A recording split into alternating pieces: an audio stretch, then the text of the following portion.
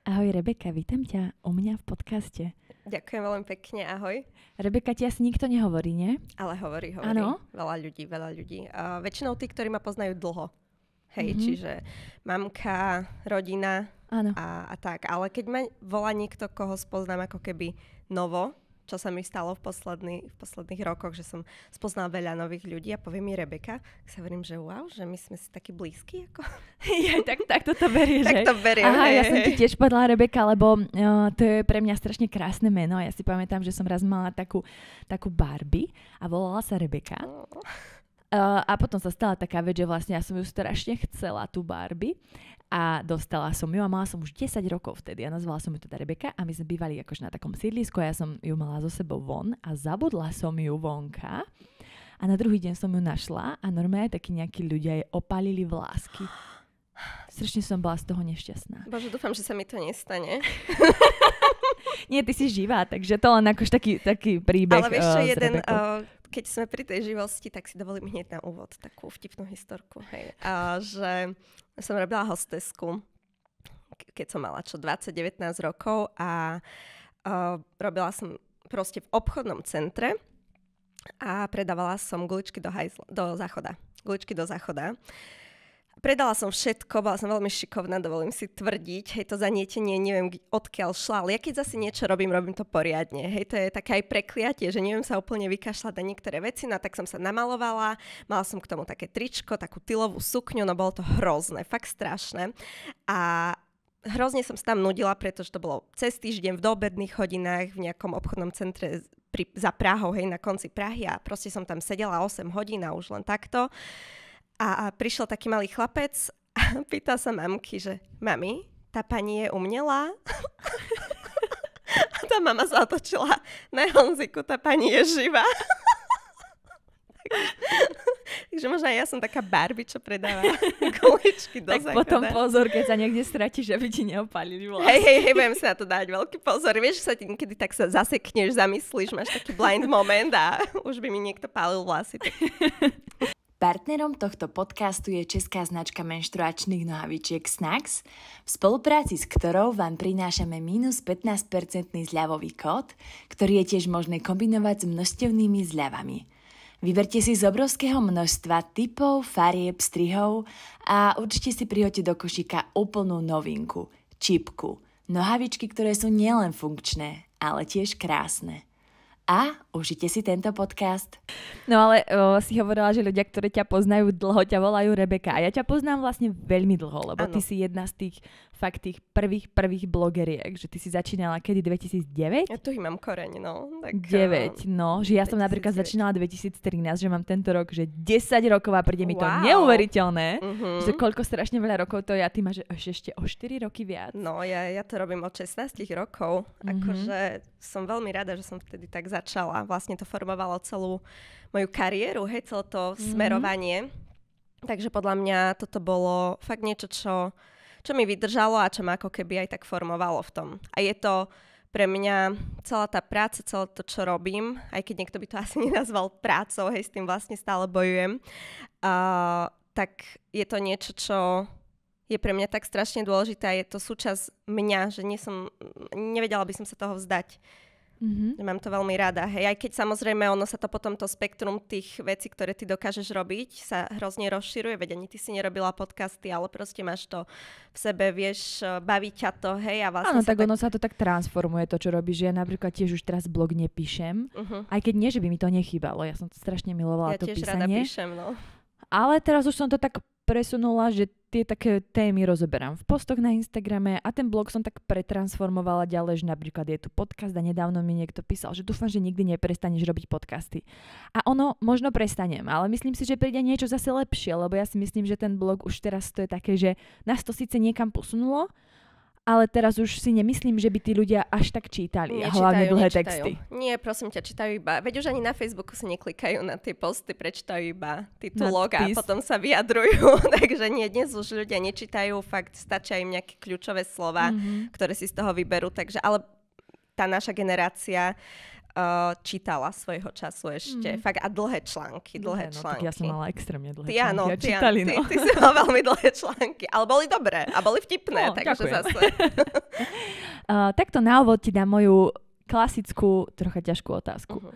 Kto je Rebeka? Wow, počkaj, minule som išla z autobusu a presne som sa nad tým zamýšľala. Že Tak už to som- máš potom ľahké. Nemám, ale nemám, som, povedala som sa, že som sa zamyslela, nie, že mám odpoveď, ale vieš čo, beriem, povedala by som, že Rebeka je mladá žena, matka, ktorá robí to, čo ju baví, má to šťastie, že si dokázala vybudovať ten život na základe toho, čo ju baví a môže, môže to robiť a uh, ktorá sa nebojí ísť svojou cestou. Asi takto by som to nejak opísala. Neviem, čo hovoria iní ľudia, ale Rôzne. to, rôzne. Rôzne, Tak, takto by som mhm. to asi opísala. A keby som mala nejaké ešte vypichnúť, ja neviem čo, hobby alebo vlastnosti, tak um, aby, asi by som povedala o sebe, že som aj vtipná. Uvidíme nasledujúce minúty, či som vtipná alebo nie. Dúfam, že budeš. Dúfam, že lebo nebude to, nikto to nebude tak vidím, počúvať. že sa smejeme, takže dobre. My, my, hej, ale uvidíme. Ako si sa ty za tých 14 rokov, čo si začala blogovať, až po teraz, kedy stále bloguješ, možno v inej forme, ako si sa zmenila? Čo sa všetko v tvojom živote zmenilo? Ty si aj poslednú dobu prešla veľkou transformáciou, ale keď sa pozrieš teraz na Rebeku pred 14 rokmi a Rebeku dnes, kde vidíš ten najzásadnejší rozdiel? Vieš čo, keď sa pozriem na Rebeku pred 14 rokmi a na tu dnes, možno až taký veľký rozdiel nevidím, ako v tých základných veciach. Mám pocit, že to gro, ktoré som mala v tej, tej osobnosti vtedy, tak vlastne ja ho mám v sebe celý čas. Potom som ho na chvíľku niekde stratila, bolo nejak zakopané. Ale ja som bola vždy taká, že som mala rada kreatívne veci, rada som robila na svojich veciach a veľmi rada som ako keby možno robila veci, ktoré iní ľudia úplne nerobia, ale nie preto, že by som chcela byť nejak akože iná. Hej, v tom, v, tej, v tom čase nikto nemal blog napríklad a nikto alebo nikto, malí ľudia, však uh, jasné, ale že nebolo to také bežné, hej, fungovať na tom internete a takisto som vždy ako keby, mi nezáležalo úplne na tom, čo si ľudia myslia o mne, alebo o tom, ako vyzerám. Stále som veľmi rada robila veci primárne kvôli sebe. Že asi sa mám natoľko rada, že ja a môj názor a to, ako ja chcem žiť, je pre mňa dôležitejšie ako to, čo povedia iní. A to mi vlastne ostalo doteraz. To je Takže- extrémne vzácne. Ty si sa to nejako naučila, alebo tak si proste odvždy bola? Uh, ja mám pocit, že som taká bola vždy. A neviem prečo, pretože vlastne nemám pocit, že som tak bola vychovávaná. Ale možno niekde v tom áno. Hej, moja mamka naopak až príliš rieši, kto si čo myslí, uh, hej, ako to bude vyzerať, ako ona vyzerá, vždy sa bojí si napríklad niečo obliecť. Hej, to sa ukáže vlastne v týchto malých veciach, že, že ide do mesta ježiš, nebudú na mňa pozerať. A ja, že veď nech sa pozerajú, veď to ako, ako aký je problém, hej, že a stále, že a čo povedia ľudia a tak ďalej. Ale môj otec uh, asi taký nebol. Myslím, že môj otec bol, ja mám asi skôr trošku otcovú povahu, že on Mhm. bol tiež veľmi vtipný. bol A vtipný. hej, bol vtipný, bol vtipný a tiež si myslím, že možno niekedy až príliš povedal, čo si myslí, to zase ja nie, lebo nie som taká, že by som potrebovala dourážať polku ľudí a ani vlastne, ani to nemám v hlave tak, že by som o niekom Mhm. tak premyšľala, ale uh, bol taký, že si robil, čo on chce, Mhm. tak by som povedala, no. Ty si nedávno, o, pred nejakou dobou, napísala na Instagram post o tom, že si prežila ťažké obdobie a že si si uvedomila, že si o, hasla, chradla vo svojom živote. O, že si sa dostala do štádia, že si neznášala človeka, ktorého si videla v zrkadle. Ako sa toto stalo? No, ako, vieš čo, asi úplne sama, alebo nie, že neviem, hej. To je presne zrovna tá téma, ku ktorej ja sa ešte len budem musieť vrátiť sama v sebe, hej, a s mojou psychologičkou. Že kde sa to stalo, ale tým, že tá zmena bola tak postupná, tak sama som si to nevšimla. A vlastne si to podľa mňa nevšimli ani moji blízky, až potom, keď to už bolo fakt zlé. Mm, no, ako ja som fakt sa pozerala do zrkadla a nie, že by som neznašala, ale ja som nespoznávala samu seba. Že to je presne to, že jak si sa ma pýtala, kto bola Rebeka predtým a ja som sa pozerala a ja, že ja neviem, kto si a, a to, čo si teraz, ty vlastne sa mi nepáčiš, lebo si, si slabá, si um, ako keby nie, nie, nemáš tú svoju osobnosť, ktorú si mala predtým. Asi absolútne proste červ to, čo, čo z teba ostalo. No, vieš, hrozne ťažko sa mi o tom rozpráva, lebo asi mám aj ja v sebe ešte nejakú tú mm, fázu popierania, že sa k nej veľmi ťažko alebo veľmi nerada sa k nej zatiaľ vraciam, pretože tie veci sa potom menili tak rýchlo, uh, že to bol taký ten, uh, jak to mám nazvať, um, keď sa snažíš zachrániť a proste si na nejakom autopilote a vlastne konáš iba ani nevieš ako, ale jednoducho ideš. Hej? A, a až potom, keď sa veci ukludnia, čo vlastne teraz nastalo v mojom živote to obdobie, že sa teraz ukludnia, ako som už našla nový byt, uh, začali sme spolu bývať, uh, vlastne s, uh, jak bývame teraz a no a, a teraz sa mi tie traumy pomaly majú ten priestor sa vynárať. Mne aj povedala sesternica, lebo ja hovorím, že, že počúvaj, ja sa nezastavujem, ja, ja som v kolobehu, ja mám pocit, že toto nikdy neskončí. A ona mi povedala, že no Beky, ona mi zrovna hovorí teda Beky, že, že no Beky, ale si uvedom, že ty keby si sa teraz zastavila, tak sa zrutíš. A som si uvedomila, že je to pravda. Že vlastne len to, že ja som musela nejak ísť a nejak fungovať, tak bol ten dôvod, prečo som sa nezrutila, že som si to nemohla dovoliť. Ako, a, a, a celkovo vlastne až teraz uh, ja ešte mám takú tú tendenciu veľa vecí zľahčovať, hej, aj keď vlastne mi otec zomrel, tak som bola taká, že mne to pomohlo prežiť, hej, bol to taký ten môj obranný mechanizmus, že veď nie som jediná, ktorej sa to stalo, tak prečo by som mala sa zrutiť, keď iní napríklad nemajú ani jedného rodiča, tak prečo, ja, ja mám vlastne mamu, no otec zomrel, stáva sa. A takto som vlastne nejak eh, to v sebe poprela a potom vlastne až uh, možno dva roky dozadu som uh, pochopila, akú nevyriešenú vec v sebe mám. Že sa to stalo a že sa to stalo tak, ako sa to stalo a že vlastne tá absencia toho otca, hej, a tak ďalej, od istého veku, lebo však zase nemala som 5 rokov, mala som 14, keď sa to stalo a toto vlastne to isté mám teraz, že si uvedomujem až spätne, pri nejakých situáciách životných, ako veľmi ma niektoré veci ovplyvnili a aká hlboká je tá trauma. A asi sa to, akože je to pre mňa až také strašidelné, že čo ma ešte čaká, kým si to v sebe vyriešim a či vôbec niekedy, neviem. No, je to, toto je pre mňa fakt taká téma veľmi čerstvá, ktorú ako keby, vieš, ono sa potom aj hovorí, že niekto si povie, ja neviem, nebudem konkrétne hovoriť, čo som prežila, hej, alebo tak a, a tiež niekedy um, to, ako je to taká, tie veci, že no veď to nie je taká veda, hej, to nás ešte tak učia. Alebo ľudia sa majú horšie, keď ti povedia. Vieš, ale to si aj ty povedala presne, že však majú, ľudia aj žijú a nemajú rodičov, ale to, že niekto sa má horšie, neznamená, že ty nemôžeš prežiť tie svoje emócie.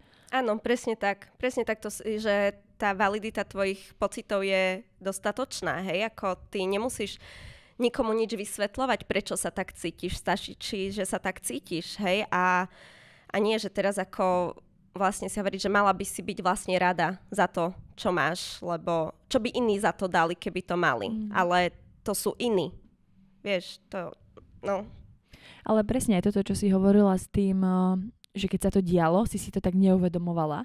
Ja som to presne takisto mala a tiež som si tak, akože som dlho nad tým rozmýšľala, že prečo to tak bolo, že počas tej doby, že keď sa teraz spätne pozriem na to takéto najhoršie obdobie, ktoré som prežila, tak ja teraz nechápem, ako som to zvládla. Ano že nechápem, ako som to zvládla, že som cez tie dni prechádzala, lebo dva roky potom sa mi celé toto nespracované obdobie vrátilo a mňa chytili také strašné úzkosti, že sa mi všetky tie veci vracali úplne. Ja som mala flashbacky z minulosti, že ja som, mne sa snívalo o tých veciach, ja som normálne videla záblesky toho, čo sa dialo predtým a presne som si to tak akože v sebe povedala, že ono počas toho najhoršieho obdobia som mala pocit, ako keby som mala takú bublinku okolo seba, ktorá ma tak chránila pred tým svetom.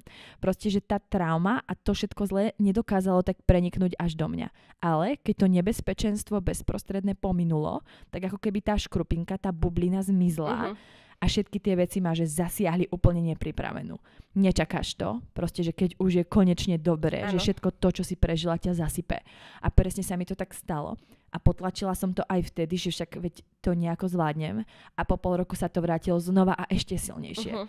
A až vtedy som si povedala, že naozaj, že musím to riešiť, lebo nefunguje to tak, že čas všetko vyrieši. On uh-huh. vyrieši, ale záleží, ako sa ty k tomu času postavíš a čo za tú dobu budeš robiť, uh-huh. lebo to vôbec nie je pravda, že ťa všetko vyrieši a tebe sa tie traumy môžu vrátiť po dlhých, dlhých rokoch. Tá trauma tam pekne sedí a čaká, hej, a uh-huh. väčšinou proste vyjde vtedy, keď to najmenej čakáš, takže určite to nie je také, že čím ďalej uh-huh. od tej situácie alebo toho momentu, že nie, čas nevylieči. Uh-huh. Akože niektoré veci áno, ale niektoré veci určite nie, hej.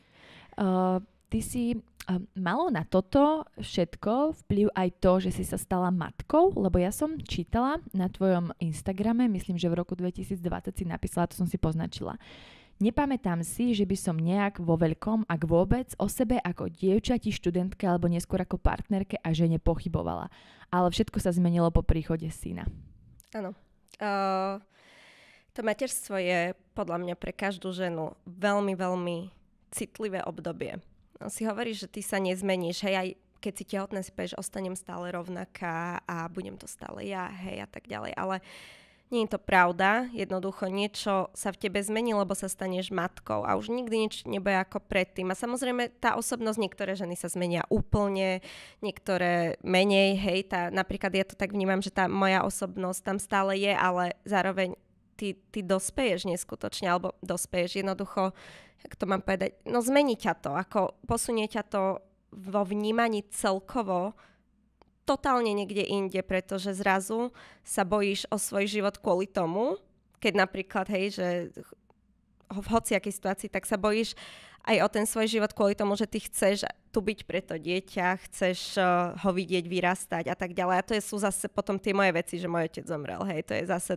to je to, že ja chcem, aby môj syn mal oboch rodičov, aj keď teda je to tak, ako to je, ale uh, to je pre mňa ako keby to najdôležitejšie, aby sme boli pre neho prítomní. A áno, aj vlastne dnešná doba, mám pocit, sa tvári, že je ako keby friendly pre tie matky, ale v skutočnosti je to presne naopak, že aj vďaka tým, alebo kvôli tým sociálnym sieťam a kvôli tomu neskutočnému spektru možností, či už výchovy, alebo to, aké mlieko budeš dávať, či budeš kojiť, či nebudeš kojiť. A jednoducho ty, treba si uvedomiť, že ty ako keby nemôžeš robiť všetko naraz.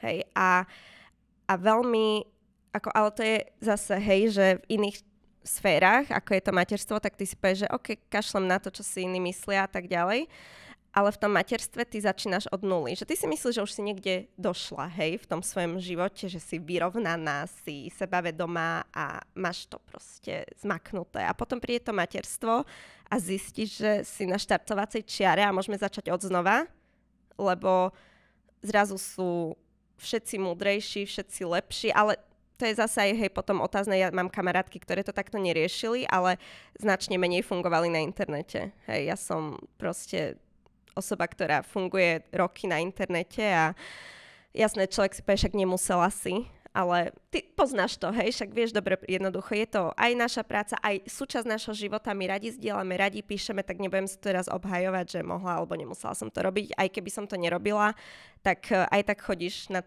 na ten internet a hľadáš uh, odpovede na svoje otázky a nie na fórach, ale celkovo jednoducho, aké máš možnosti a je ich toľko, že si nevieš vybrať a vlastne treba si uvedomiť, ale to som k tomu došla, lebo však mali už má 4 roky, že mm, nie je, nič nie je vyslovenie, že nesprávne alebo správne.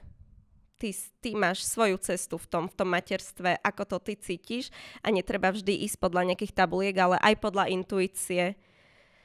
A to, že to niekto robí takto, neznamená, že ty to musíš robiť takto, pretože zase niekto iný to bude robiť inak. Hej, mne sa napríklad stalo to, že tak bývam v Prahe, tam proste v, na letnej, v teda bývala som tam v centre, viac menej a to je veľmi ako mamič, pre mamičky miesto, je tam park, hej, a veľmi dobrá oblasť.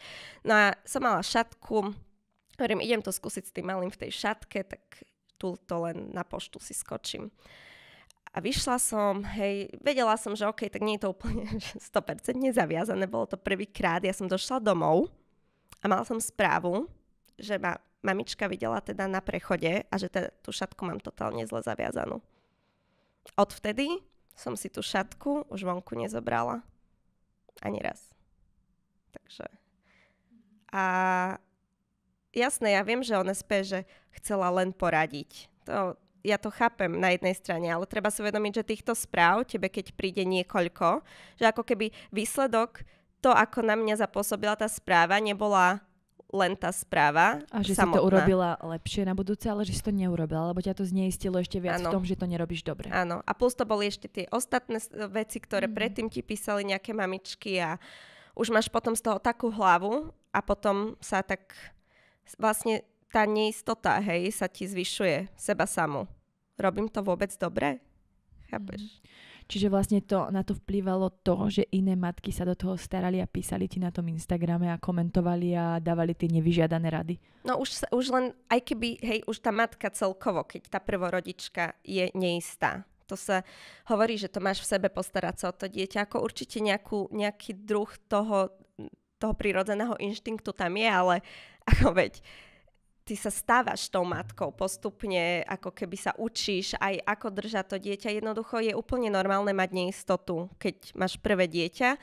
Čiže už tá neistota tam je sama o sebe. A teraz bum bum do toho vedra ešte sypú iní ľudia, tak uh, jasné.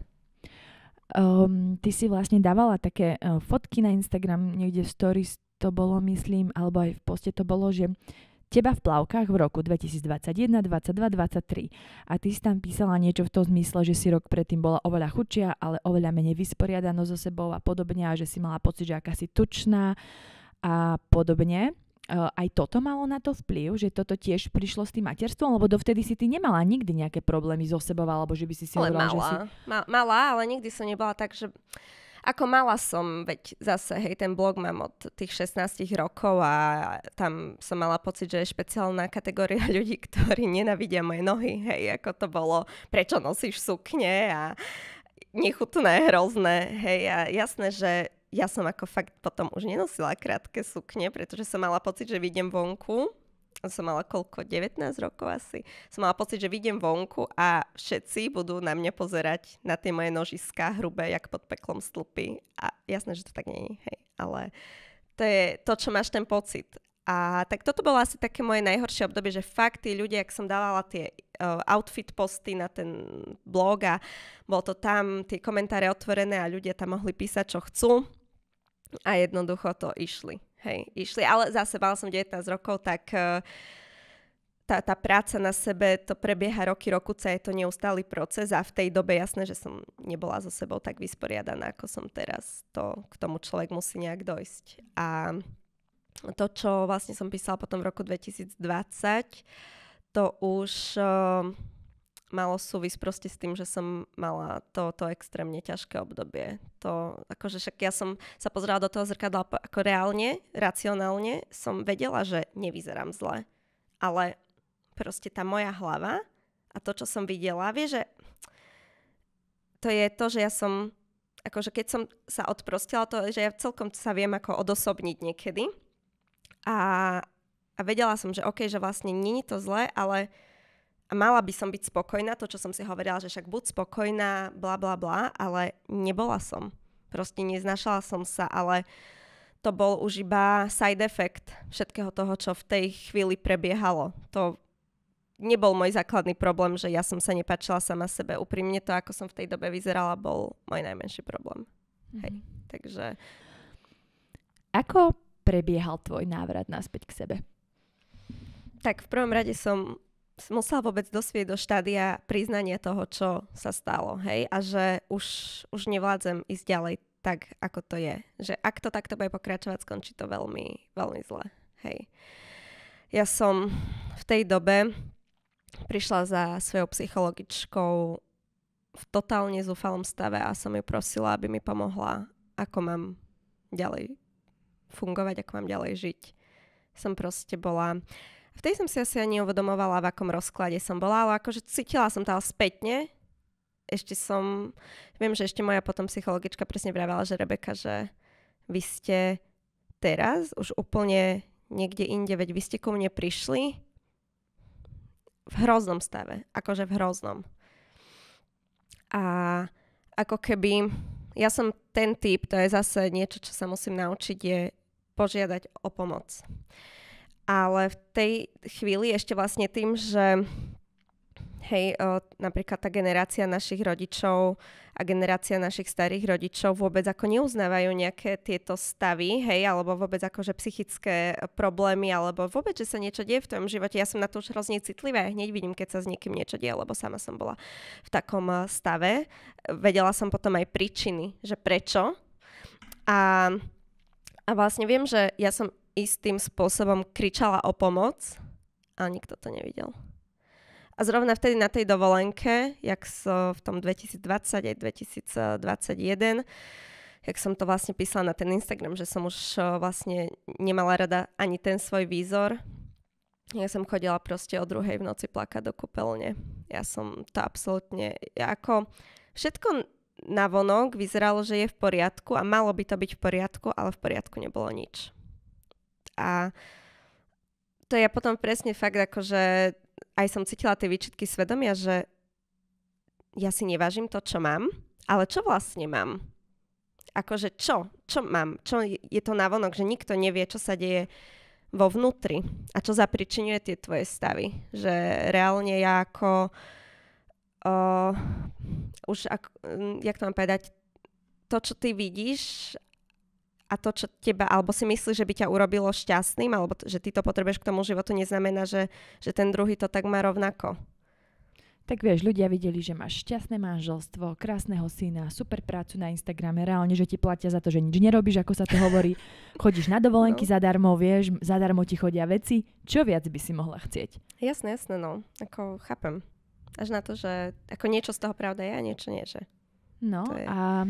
A ty ako, čo budeš, ty nebudeš dávať na Instagram v tej chvíli, keď sa to deje. Niekto áno, ale ja nie som proste na, taká, že by som dávala na Instagram v tej chvíli to, čo sa deje. Navyše aj tak, hej, ako sama, kým sama priznáš, že aký je problém, čo sa, hej, akože prečo by som mala niekomu vešať na nos zrovna tieto veci, že nejaká hranica súkromia tam musí byť. To je zase to niečo, čo tí ľudia si často neuvedomujú na tom Instagrame. To nie je prezentovanie len pekných vecí, ale logicky ako moja povinnosť nie je s vami komunikovať to, čo prežívam aj ako tie negatívne veci, alebo to vlastne ja je v mojej režii, čo ja s vami budem zdieľať. A to, že vy si z toho vyskladáte celú pravdu, alebo si myslíte, že len toto je pravda, to je vaša zodpovednosť a nie úplne moja.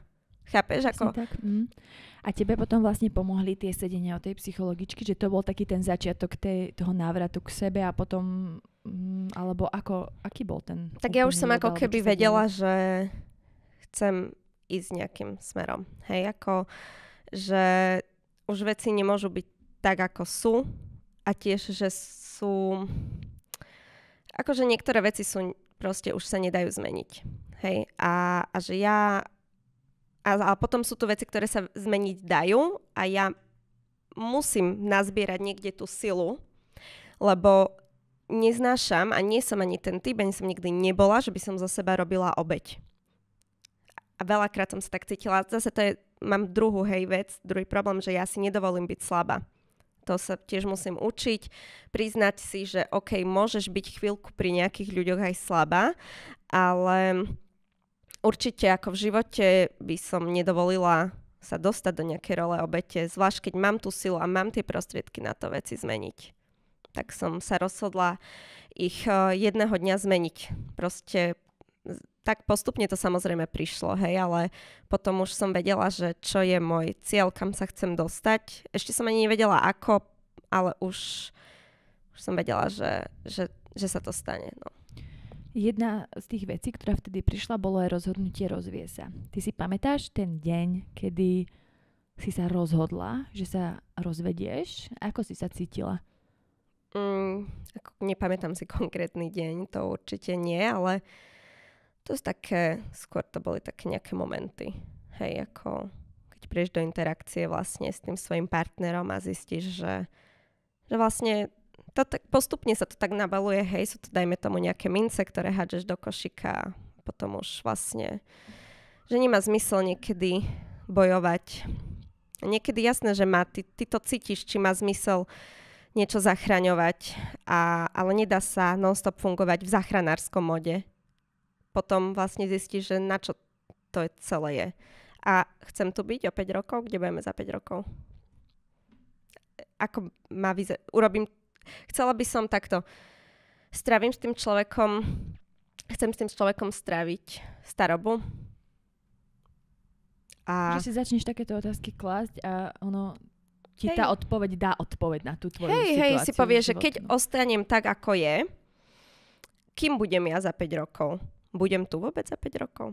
A jednoducho ty, hej, a, a, a potom, akože, oj, veľmi ťažko sa mi o tom rozpráva, takže som taká, že trošku aj kokcem, sa ospravedlňujem, a, ale hej, tie otázky ti dajú odpoveď. Ono ty to niekde cítiš vo vnútri, ešte samozrejme však není tvojim cieľom sa rozvádzať v 30 Tvojim cieľom bolo mať dve deti, šťastné manželstvo a jednoducho ne, nevidie to každému, nedá sa to ani keď sa niekedy možno snažíš a niekedy to možno len nechceš. Jednoducho zistíš, že toto nie je cesta pre teba, alebo to nie je cesta pre teba s týmto človekom.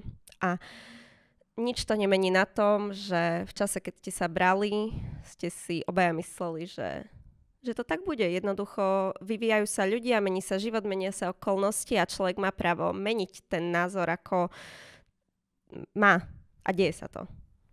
Bola to pre teba um, úľava, keď si si to tak uvedomila a povedala si to tomu manželovi, že sa chceš rozviesť? Lebo predsa len taká, také rozhodnutie prichádza, ako si aj hovorila, nejakú dobu a musí to strašne ťažiť toho človeka a strašne veľa žien z toho manželstva neodíde. No. Lebo si povedia, že že nie, že to chcú zachrániť, alebo proste, že nechcú byť tie slabé, že idú, odídu z manželstva. Podľa mňa je práve, že sila a odvaha odísť a nie ostať. Aké to pre teba bolo? No, mm, bola to úľava na prvý moment, jasné. Proste. A, a ty nikdy nevieš, kedy je ten správny čas to urobiť. Vlastne asi nikdy, hej. Lebo nikdy nie je ten správny čas. Nakoniec vlastne zistíš, že ty si vybereš úplne taký random moment vyťahnutý. Proste fakt, ja nebudem hovoriť konkrétne veci, ale fakt si nakoniec vybereš taký moment, že OK, teraz, teraz vlastne kašlem na to, lebo aj tak sa to stane. Tej, a teraz, že ty už vlastne v tom čase, keď ja som to urobila, som bola v štádiu veľmi zlom a vedela som, že, že to musím proste už urobiť, že už, už nedokážem ďalej ísť tak, ako to je. Ale nevedela som, čo sa stane ďalej. Hej, to vôbec nejaký plán človek má alebo nejaké predstavy, ale reálne vlastne nevedela som. A dobre tak, hej, niekedy veci netreba príliš komplikovať. Aj tak si nieč, ni, nič si nevieš naplánovať, nevieš, ako bude reagovať druhý človek, nevieš, čo sa stane a a je to ako v istom smere dobré, že nevieš, lebo zistíš v závere, že život tie veci zariadi veľakrát a ja ako úprimne, jak si ty vravela, že spätne, keď sa pozeráš na niektoré svoje životné obdobia, že nevieš, ako si to zvládla. Ja, ja tiež neviem, ako som to zvládla, ale zvládla som to a som na to, som na to aj pyšná. Akože na to, že som mm, sa poz, pozbierala som tú odvahu, ale je pravda, že ja som jednoducho mala aj finančné prostriedky na to a mala som len jedno, mám len jedno dieťa, že to není len takto, hej, že tiež ja nejdem ženy motivovať k tomu, aby odchádzali od svojich mužov, to určite nie, hej, ale treba si uvedomiť, že pokiaľ to je fakt také, ke, pokiaľ je to fakt zlé, alebo pokiaľ, a, a zase, hej, tu máme tu nejakú nejaké spektrum toho, čo je zle. Pre každého niečo iné. Hej, niekto by si povedal, že však v pohode, čo som, však vieš, ako niekto zvládne viac, niekto zvládne menej a uh, tu nejdeme sa hrať na to, aj keď na Slovensku sa na to asi ľudia radi hrajú, hej, že, že čo. A ja viem, že odísť není ľahké, není ľahké ukončiť vzťah s človekom, s ktorým ste si boli kedysi tak strašne blízky, veď to není ľahké ani keď len spolu chodíte, nie to ešte keď uh, máte spolu byt, dieťa a jednoducho roky, hej, mladosti strávené spoločne. A, ale neberem to určite už teraz ako zlyhanie. Neberem to ako zlyhanie. Bo, sú momenty, Ježiš Mária, hej, ako aj boli momenty, keď človek sa spýtuje sám seba, či nemal vydržať. Vieš, a takéto otázky rôzne, ale ja vlastne aktuálne, aký mám teraz život, tak som za to neskutočne vďačná, že ho mám a viem, že keby som sa nerozhodla tak, ako som sa rozhodla, tak by som vlastne nemala to, čo mám teraz. A nemenila by som. Nemenila by som vôbec. Ale nerozmýšľala si nad tým, že by si ostala kvôli synovi? Lebo veľa žien presne toto urobí, že povedia, že nechcú zničiť tomu dieťaťu život alebo tak, že chcú, aby mal obých, oboch rodičov, ale popri tom mne príde, že keď toto niekto hovorí ako argument, že ostáva v tom vzťahu len kvôli dieťaťu, mi príde, že to dieťa trpí ešte viacej, keď vyrastá v neharmonickom prostredí, ako keby vyrastalo síce v dvoch rodinách, ale tam, kde by bolo proste cítilo tú lásku od tých rodičov, respektíve z toho prostredia. Vieš, že keď sa niekto háda celý život rodičia, tak to na teba vplyvá ako dieťa. Jasné, jasné, to uh, napadne ti to, že že preto dieťa, ale zase, hej, ja som potom sa pýtala sama seba, že však ako teraz ma vtedy mal, hej, bol mladší, že je to lepšie vlastne to spraviť, keď je mladší, lebo ja som vedela, že i tak či tak by sa to raz stalo, tak to nebudem robiť, keď budem mať 7 rokov, hej, a spravím to radšej proste, kým je ešte malý.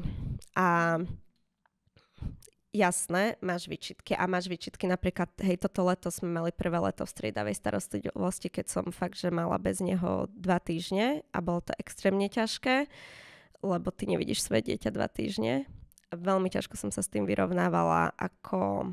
Mm, Hej, ja chápem, že keď máš napríklad, že si uh, v tom full-time uh, mama móde a niekedy by si aj bola rada, keby ti to dieťa zobral niekto a dva týždne bez dieťaťa ti prídu, že oho, hej, akože super. Uh, ale reálne potom, keď už si, že tak, tak to boli. A na to ťa nikto nepripraví, ale potom ja ako viem, že aj keď určite so mnou bude veľa ľudí nesúhlasiť, ale zase, hej, ako to je to, čo, ako som sa ja rozhodla a myslím si, že to je fakt, som o tom presvedčená, že to bolo to najlepšie rozhodnutie, čo som mohla spraviť pre nášho syna, pretože potom si to dieťa berie tie vzorce toho, čo vidí doma. Takže ja chcem, aby moje dieťa videlo lásku, vyrovnanú mamu, šťastnú mamu a nie to, čo vlastne vtedy zo mňa ostalo.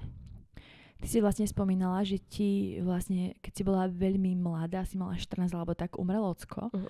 A nebol pri tomto tvojom rozhodnutí aj toto jeden z tých aspektov, že si si tak viacej uvedomovala tú konečnosť toho života, že človek môže kedykoľvek umrieť a vlastne aj veľmi mladý a že nechceš ten život stráviť v nefunkčnom manželstve?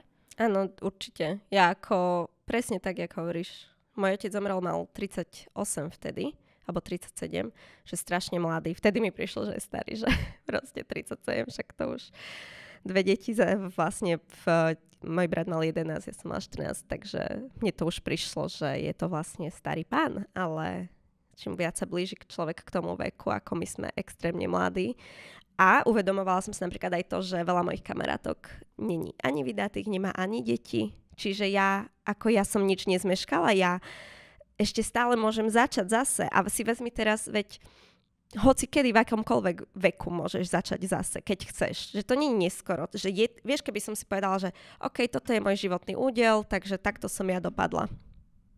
Hmm. Ale a veľa ľudí si presne toto no. povie, ale a žijú v tých nefunkčných vzťahoch a sú nešťastní, ale neodídu a ešte sa tvária, že všetko je OK, aj sami seba sa snažia presvedčiť o tom, mm-hmm. že to je v poriadku a že vlastne nemám sa na čo stiažovať, lebo veď Ale čo? Presne, presne ti potom aj tá rodina, tá generácia pred nami povie, že no ale to takto vzťahy fungovali, proste nemáš kupovať nové, máš opravovať. Lenže nie vždy sa dá opraviť. A myslím si, že toto je už strašne taký zastaralý vzorec vo vzťahoch, že tvárme sa, že ideme opravovať, lebo nie vždy sa dá opraviť. Ty si hovorila, že nechceš ženy ako keby húckať k tomu, aby sa rozviedli, ale niekedy nie je iná možnosť, ako sa rozviesť, vieš? Nie, a niekedy nie, no. Čo by si ale poradila niekomu, kto žije v takomto vzťahu a nevie odísť.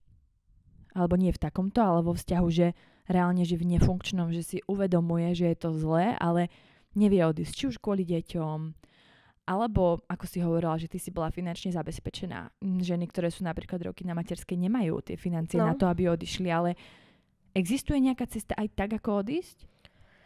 Och, to je veľmi ťažká otázka. Vieš, tam záleží aj od toho, či tam je nejaká podpora rodiny. Veľakrát nie je ani podpora rodiny. Vieš, nie každý je ako keby... Nie každý má takú povahu ako ja. Že ja som, som celkom taká, ako si dávam tvrdiť, že nebojacná, hej. A, a jak som ti vravela, že nezáleží mi na tom, čo iní povedia. A, ale nie každý je takýto. A je to... Ako úprimne, ja sama neviem, čo by som robila, keby som, dajme tomu, mala viac detí a nemala by som príjem. Alebo rodinu za sebou. Vieš, niektoré ženy majú aspoň to, že bývajú v rovnakom meste s rodičmi, s babkou, majú kam ísť. A niektoré ženy nie, hej. Uh, to ja si nedovolím tvrdiť, nedovolím si ani radiť. Ja fakt neviem, ja som mala úplne inú situáciu, takže jasné, že možno si niekto povie, že ľahko sa mi rozpráva. Proste som hrala s kartami, ktoré som mala rozdané. A to sa ako teraz nebavíme, hej, ja nechcem tých mužov vykreslovať ako nejaké monštra, vôbec to, to v žiadnom prípade. Uh, ale jednoducho, hej, a, a ďalšia vec, že však muž ťa není jediný dôvod, prečo by si mohla odísť, to, že ťa muž napríklad bije to není, to u nás je také, že musíš mať nejaký ako jeden jediný dôvod, ale to, to nie je jediný dôvod. Vieš, sú, je milión iných dôvodov, prečo uh, ty už nechceš uh, byť v tom vzťahu. Dokonca za tým dôvodom nemusí byť ani nevera. Jednoducho nemusí za tým byť nikto iný, môžete za tým byť a častokrát ste za tým len vy dvaja. A ľudia hľadajú ten dôvod, Ježiš, bola tam nevera, čo jej mm-hmm. spravil, čo ona spravila jemu, hej, potom prišla na, vieš, nejaké veci a bla bla bla, ale ako reálne to sú len domienky tých ľudí a ten dôvod vieme my dvaja. A, a to stačí. A to stačí, presne tak. A nemusíme, nemusíme nikomu vysvetľovať, že že prečo, alebo hľadať, že kto bol ten zlý, kto bol ten dobrý, no tak není také. Mm-hmm. Um, Ty si spomínala presne teraz toto, že tí ľudia si tak akože domýšľajú. Uh, ako reagovali ľudia na Instagrame tým, že ty žiješ taký verejnejší život a hovorila si o tom, písala si o tom vzťahu, o manželstve, o dieťati a o tom, čo sa ti v živote dialo a prišla si s tým teda, že ste sa rozviedli, ako na to reagovali? Dostala si nejaké nevyžiadané rady alebo nejaké návody, ako si to mala urobiť lepšie? Samozrejme. Nečakané, že?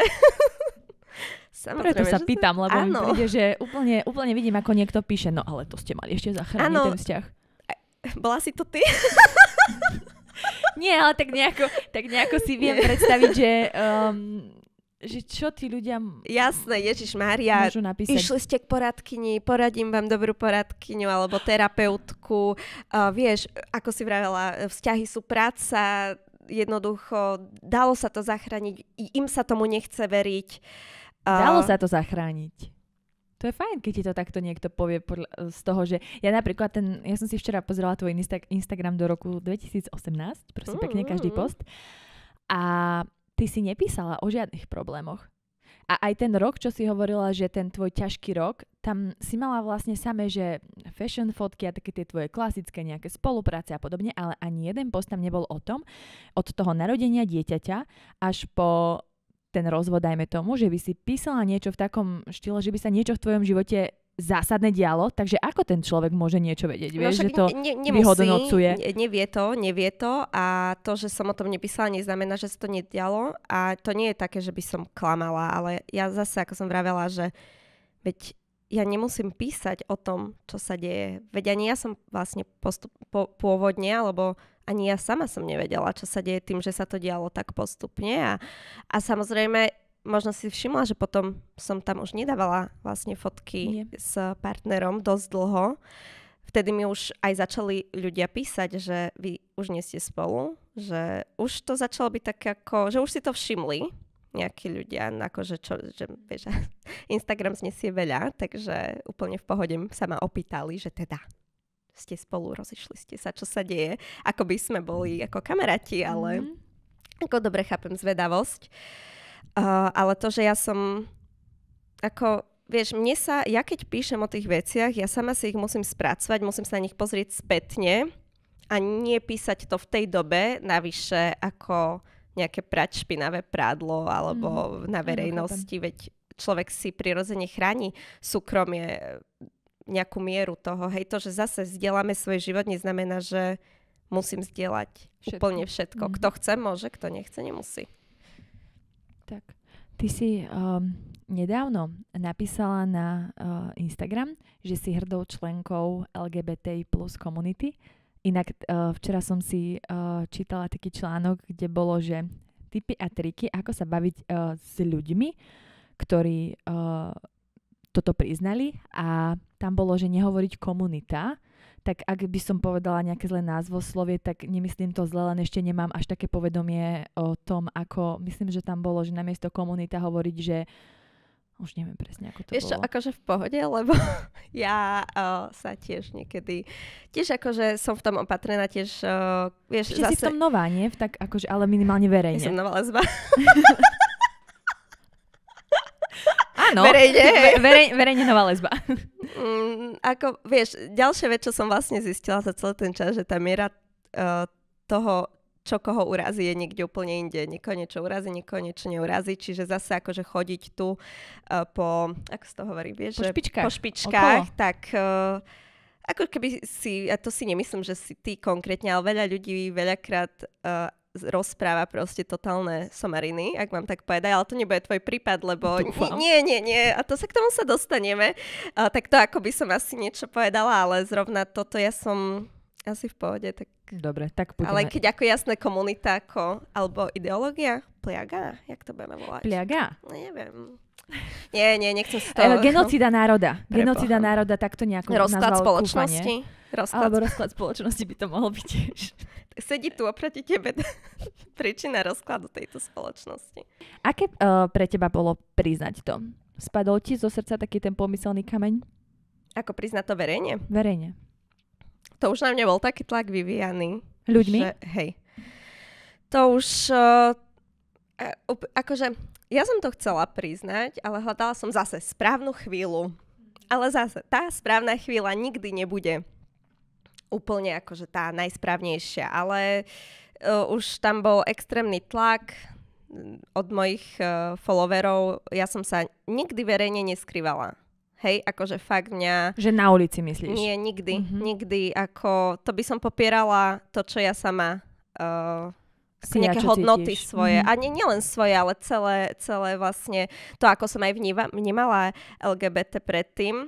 A uh, jednoducho ja pre mňa není dôvod, aby sme sa, si ako... Hej, aby, mhm. aby ja som sa skrývala, alebo ktokoľvek, aby sa skrýval. Plus som vždy tie baby mala tak strašne rada, že ja som proste bola šťastná, že som s nimi, chápeš, vonku. Nie vš- so všetkými naraz, ale tak rozmýšľam, koľko ich bolo. Akože. Nie, nie, ale že keď som ako s niekým randila, ano. tak ja som ako bola šťastná. Áno, hej? že si sa nešla skrývať proste. Nie, určite nie, nie, nie, nie. A ľudia vás takto videli, čiže oni potom ti písali a cítila si akože tlak od tej spoločnosti, áno? Som strašná celebrita.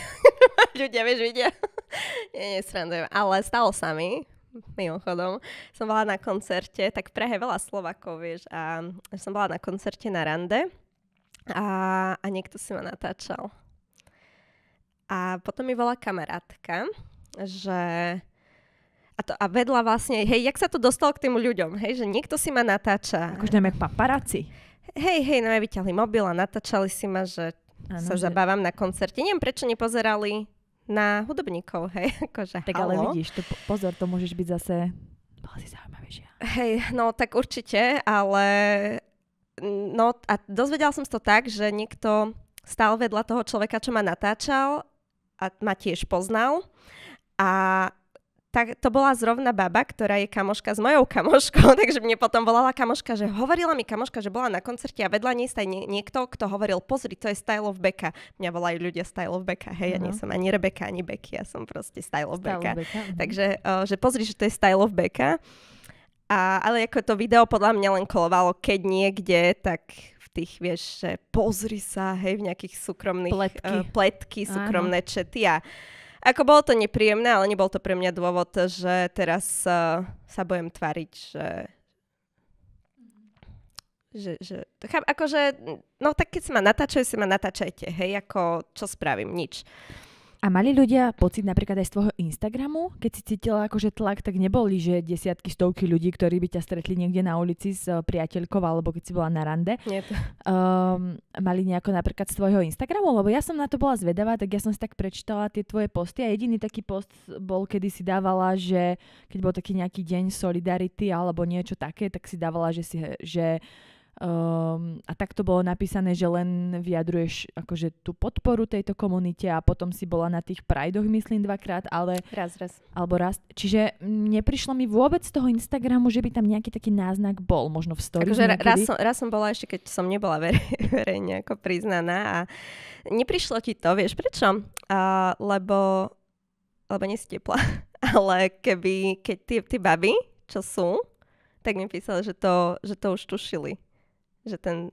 No a toto ma inak zaujíma, že vy to viete? Hej, niekedy áno. Môj, ge- môj gaydar je celkom dobrý, nevždy, ale, ale to niekto, ako takto, cítiš to väčšinou, hej. Ako cítiš, že mňa by to zaujímalo, že ty napríklad vôjdeš do baru, lebo toto bola vždy taká otázka pre mňa na tých ľudí, akože ja som sa to nikdy neopýtala, lebo ale teraz mám tu príležitosť, mhm, konečne tu mám uh-huh. niekoho, na koho môžem položiť všetkých mojich tisíc otázok, ktoré uh, na túto tému mám, že ako to cítiš? Že vodeš do toho baru, napríklad je tam 100 dievčat a ty presne si vytipuješ, že tá a tá? Že to vidíš? Áno. Ja som akože na niektorých tak to aj vidíš vizuálne, ale z niektorých to cítiš, že majú také ako gay vibes. A to proste, ako nevždy, hej, to, že 100%, ale nik, u nikoho ten gaydar nie je 100%, ale viac menej vidíš aj ako sa pozerá, uh, niekedy aj z toho, ako, ako je oblečená napríklad tá baba, alebo ten človek. Uh, no. Lebo vieš čo, mne sa stala taká vec, že vlastne po mojom jednom rozchode uh, vlastne ja mám kaderníka, ktorý je gej a moja mamina má zase uh, kamarátku, ktorá je tiež, ako hovoríš, teplá. Snaď by sa neurazila, keď to takto poviem. Le- neviem, lesba, neviem. Áno, aj lesbička bolo, že nesprávne, že lesba Ja viem, hovoriť. ja viem, veľa, ako som vravela, no, mm-hmm, že niekto áno, sa že každý urazí, to má, ale... Áno. A vlastne potom, ako sme sa my rozišli, tak títo dvaja ľudia nezávisle od seba povedali, že on to povedal mne a ona to povedala mojej mamine, že však ale on je gay, akože môj bývalý, že to oni na ňom vidia, že on je gay. A, a ja sa potom pýtam toho, toho môjho kaderníka, že a to prečo si mi akože nepovedal, že tak ja som akože, nie že by som mala také podozrenie, lebo on to nikdy nepriznal a nič, len mal proste robil zvláštne veci v živote a tak. A a normálne títo dvaja ľudia povedali, že oni to z neho videli, že my sme boli raz na jednej akcii a ten kaderník hovorí, že ako náhle ho videl, tak povedal, že on je náš vieš, a potom až nejakú dobu potom sa to tak nejako vykryštalizovalo, že naozaj mal akože také rôzne veci sa tam diali, vieš, čiže uh-huh. preto som si tak povedala, že wow, že oni to asi nejako vidia, cítia, alebo tak, vieš. Hej, niek- niekedy, to akože, väčšinou áno, ale nie, môžeš sa pomýliť, mne sa, ja som sa raz pomýlil. No, bolo to trošku trapné, ale tak. Vieš, Pomýlila, akože prišla si baliť ženu Áno, hetero. áno, áno, áno. A čo ti? Bola ako... som, ja, ja som išla na istotu proste mala som pár drinkov, hej. Možno tam bola tá chyba a som proste zozbierala tú svoju odvahu a ja, že idem, že proste určite, ako nepochybovala som. Väčšinou si nie si úplne istá, ale že stále tam musíš mať aj nejakú pokoru v sebe, že možno nie, hej, ale tu ja som šla a už druhýkrát, keď som ju, dvakrát som to dokonca skúsila, hej, ako, tak druhýkrát, keď som ju pozvala na, na drink, tak už uh, mi povedala, že teda má priateľa a ono ako, mm, že vlastne takto, keď napríklad pozveš na drink nejaké dievča v bare a napríklad, že má priateľa a ona to ale pochopí, že OK, poďme, že však kamarátsky, tak kedy nastane ten moment, kedy sa akože ako to ty vysvetlíš tomu človeku, alebo povieš mu, že ty to nemyslíš akože kamarátsky, ale akože takto partnersky? Um, to sa... To vyplynie zo situácie, Nie, nie, nie. Uh, prosím ťa, ktorá, veď baba, ktorá je v bare, tak čaká, na, ak chce niekoho zbaliť, tak čaká, že ju pozve na drink. Ak a je hetero, tak čaká, že ju pozve na drink chlap. Muž. Prečo Mhm. by strácala čas akože s babou, ktorá ju volá na drink navyše? Teba niekedy nejaká baba pozvala na drink len tak z kamarátstva, keď ste neboli dohodnuté.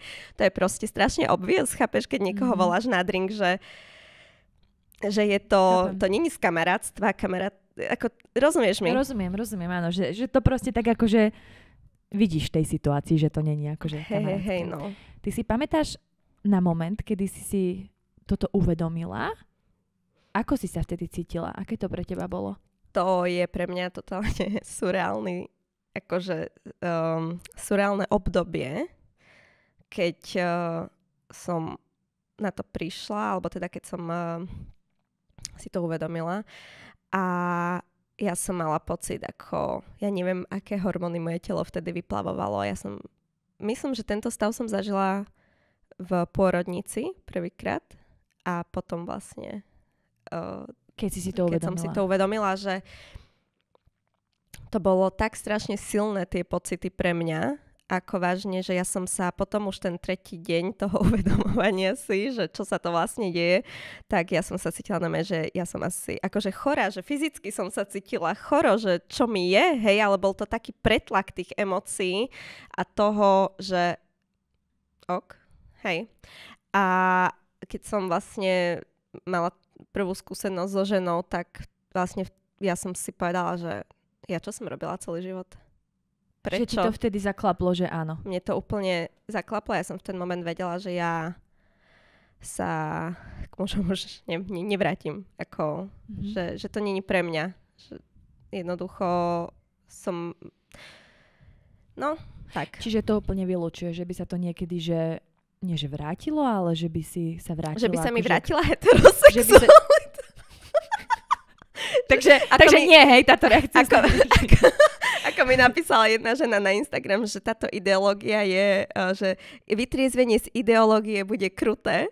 Tak, že myslíš, že keď vytriezvem z tejto ideológie, tak uh, vtedy, že, že sa vrátim. Uh, nie, nemyslím si to. Nie, nie, že nemyslím si to, akože... Skôr nie. Mhm. Nie, skôr A- nie. Nie, proste ja navyše mám teraz nádherný vzťah a uh, proste Proste myslím, nie. To len tak, ako mi nie. napadlo, že Mhm. náhodou, či také niečo sa deje, že ako keď som s s Kokovačič Hanzelou riešila to, že začneš veriť Boha, prestaneš veriť Boha, potom zase začneš, že či toto je také isté. Vieš, že si uvedomíš, že teraz sa mi páčia dievčatá. Nie, Takže ty si nikdy nemala také, že napríklad počas života, lebo je veľa ľudí, že sú bisexuáli, že proste, že vnímajú ako objekty aj ženy, aj mužov. Objekty, chápeš? Áno, aj, sexuálne aj, objekty, veď aj ty Áno. vnímaš ako sexuálne objekty Áno, mužov. tak ale takže- nechcem akože hovoriť na ľudí, že sú, ale áno. A rozhodneš sa, že budeš teda s mužom žiť. Potom sa rozvediete a povieš si, OK, teraz idem so ženou. Vieš, že akože Áno, máš aj tie možnosti, aj tie, áno, hej, ale ty hej. to tak nemala. Ty si brala vždy len mužov, až potom, po tomto precitnutí prišli ženy. Tak vezmi si, že ja som Bola dlho s spoznala... tým mužom. No nie? ja som mala 21, keď som ho Mhm. spoznala. Takže To ešte nestineš ani popremýšľať nad životom. Hej. A už si v manželstve. hej, tak to vieš, bum. Mhm. A, no a ja ako keď som mala ten vzťah, potom som bola na materskej, ako mňa... Ja som sa nepozerala ako reálne po iných, ľuďoch. Mhm. Som taká, vieš, A hlavne vieš, ono, keď si v tom manželstve, máš 21, 25, 26 a tak, a zrazu by ti tá myšlienka aj prebleskla hlavou, tak si povieš, no zbláznila si sa. Proste máš tu muža, máš tu dieťa, máš ten super život, tak čo tu vymýšľaš? Vieš, že tak hej, by mi to... hej, hej, že- hej, no. Ani nie, že vymýšľaš, ja by som to nebrala ani ako nejaký, že ako nejaký reálny, uh, reálne varovanie, že sa niečo v živote deje, Je vieš? to veľmi ťažké, ako keby vôbec si to pripustiť. Veď ja Mhm. sa pamätám, že ja... Um, lebo u mňa to bolo tak, že mne sa fakt stra- strašne dlho páčila jedna baba. Akože poviem tu tento príbeh, hej, dúfam, že si nevypočuje ten podcast, ale...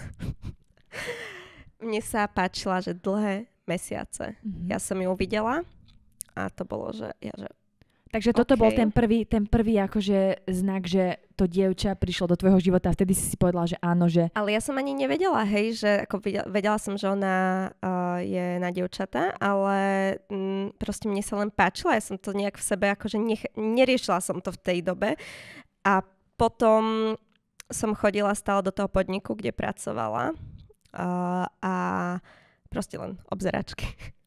Chápem. no a potom jedného, jedného večera, ja neviem ani ako, počkaj, mne ovládala nejaká sila, ja neviem, ja som išla k baru a hovorím, pracuje tu ešte? A je kamoška, že už nie, pracuje inde. A ja, že a zrazu z mojich úst vychádza, a je single? Hej? A ja úplne, že ja neviem, hej. A ona, že myslím, že je. A ja, že tak kontakt? A už som mala kontakt, už som jej písala a druhý deň sme sa stretli a ja som tam išla, počkaj, ale s takou malou dušičkou, ja že, ja, ja sama som si hovorila, čo robím, prečo za ňou idem, čo od nej chcem. Ja som nevedela, ja som len vedela, že ja musím ísť za ňou, že ja už proste mňa to tak ťahalo k nej. Nedopadlo to, hej, ale to je jedno, hej, každá, každý má takúto nejakú skúsenosť, ale mm, no, Takže to bolo pre mňa fakt také také nové, také, že... A som rada, že to tak bolo, a, ale vlastne ten život, hej, že niekde taká nejaká vnútorná sila sa vo mne nabrala. A a toto bolo teda úplne, že na začiatku, hej, že s týmto dievčaťom, že vtedy si to tak uvedomila, že mňa by zaujímalo to, že ako ako keby, že aké boli také tie prvé znaky, že napríklad, keď toto počúva niekto, komu sa toto deje v živote, že má také nejaké prvé náznaky toho, ale nevie to nejako definovať, nevie to vyhodnotiť, čo sa v jeho živote deje. Čo bolo také ten úplný, úplný základ? Boli to takéto tie emócie, že si videla nejaké dievča, alebo to bolo, že zrazu si cítila niečo, alebo mm, aké bol to, to je... úplný ten úplný úvod toho? Úvod toho, že vieš, lebo je veľa dievčat, ktoré ako keby, a to sa teda zrovna staralo aj mne, že, že je veľa dievčat, ktoré chcú experimentovať. Hej, že si povedia, že skúsim to s dievčaťom a potom si nájdu nejakú proste lesbičku a uh, poďme sa zahrať, hej. A to je hrozné, ale to, mne sa to tiež stalo, že som bola vlastne na rande s dievčaťom a vlastne... Uh, Skúšala, hej, že ktoré pohľavie je pre ňu? No tak ona, že rozišla sa s frajerom a že proste, že či náhodou teda že chce to skúsiť s dievčatami. Čo akože v pohode, lebo zase ja mm, som tiež bola v situácii, keď niekto musí byť tvoj prvý Rozumieš mi, že mne tiež niekto dal, nechcem povedať, že šancu, ale ne, nebola som odpísaná len kvôli tomu, že som bola predtým vydatá. Rozumieš mi? Alebo že predtým som mala vzťah s mužom. A, a keby som bola, tak vlastne vôbec sa tieto late coming outy nemajú akože nie, že zmysel, že by sa ani nediali, alebo, alebo diali by sa, ale rozumieš mi, lebo to není len o tom, ale ty si samozrejme uvedomíš aj na základe toho, že ťa niekto priťahuje a nielen fyzicky, ale aj emočne, že ja som si uvedomila, že, že vlastne že sa dokážem zamilovať do tej ženy a je to pre mňa neskutočne silné. Lebo vieš, keď experimentuješ sexuálne, to je jedna vec, ale potom máš aj vlastne to emočné, uh, tú emočnú fázu alebo tú, tú emočnú časť a nie každý sa dokáže zamilovať do ženy, že to je tiež, hej. A vlastne keď si, keď si napríklad teraz spomenieš na tvoje úplne prvé rande, ktoré si mala s nejakým mužom, keď si bola malá, mladá, malička, malička a tvoje prvé rande so ženou. Bolo to prvé rande so ženou také, ako keby to bolo to prvé rande s mužom, že je úplne niečo nové, alebo bolo to také, že len nadvezuješ už na ten život predtým, že randila si s mužmi a teraz so ženami ale nadvezuješ, alebo bolo to fakt také, že nové, že napríklad, že prvý sex s mužom je prvý sex so ženou, že ako prvý sex v živote, že ako keby to bolo niečo iné, alebo už to bere, že, že Nie, len to nadvezuje. To už, mm, akože... Čiže nie je to také, že úplne iné. Že aj čo je, sa je týka to... toho vzťahu, aj toho, aj toho sexu, aj celkovo. Vieš, tak myslím, že keď sa, keď sa to prvýkrát dialo v tvojom živote, tak to bolo nejaké. Teraz sa to prvýkrát dialo s tými ženami a že či ten pocit bol rovnako taký silný ako prvýkrát, keď sa to dialo s tým Nie, ten mužom. pocit bol lepší. Lepší. Mhm. Bol lepší, lebo to bolo to. Mhm. Chápeš? Chápem. Že nechcem ako No vieš, už máš za sebou zase, hej, jak si vravela, máš za sebou nejaké skúsenosti, uh, si sexuálne aktívny, vieš niečo o intimite, o intimite, ale... Že už to nie je také ako ten prvý sex proste v živote. Tak, no, tak nie, lebo... Ale to mm. je normálne, hej, ano. ty už vlastne hlavne vieš, čo je sex, hej, akože ten prvý sex je taký, vieš, to mm. jednoducho v puberte. Uh, ale no, s tou s tým, alebo s tými ženami ten celkovo, ja som, proste ja som vedela hneď po tom prvom sexe, že, že už cesta naspäť nie, nie. Necítila si sa na toto všetko sama, keď to všetko začalo, lebo však ty si mala, že dajme tomu, že to manželstvo, ten taký život nejaký, usporiadaný, dajme tomu, potom zrazu všetko toto, ako keby tie piliere tvojho života padli a začala si si ich stávať na novo, úplne inak.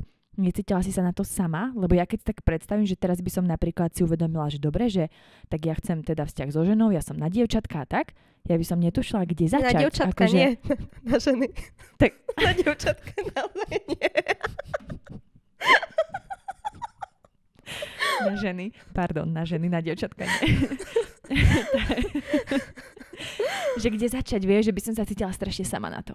Cítila som sa sama aj kvôli tomu, že to bol um, to boli mesiace pochybností z, z, z vonkajších strán, že oh, presviečali ťa ľudia o tom, že teda... Že ma to prejde. Mm. Veľa ľudí ešte čaká stále na to, že ma to prejde. Uh, počúvam dodnes, že ty nie si naozaj teplá. A... Lebo si mala, mala manžela, ano. dieťa, áno. Hej, a potom sa vlastne necítiš... Ty vlastne... A, nie, a, a ne, necítiš sa prijatá? si to aj sama? Že, či to nie je len nejaká fáza?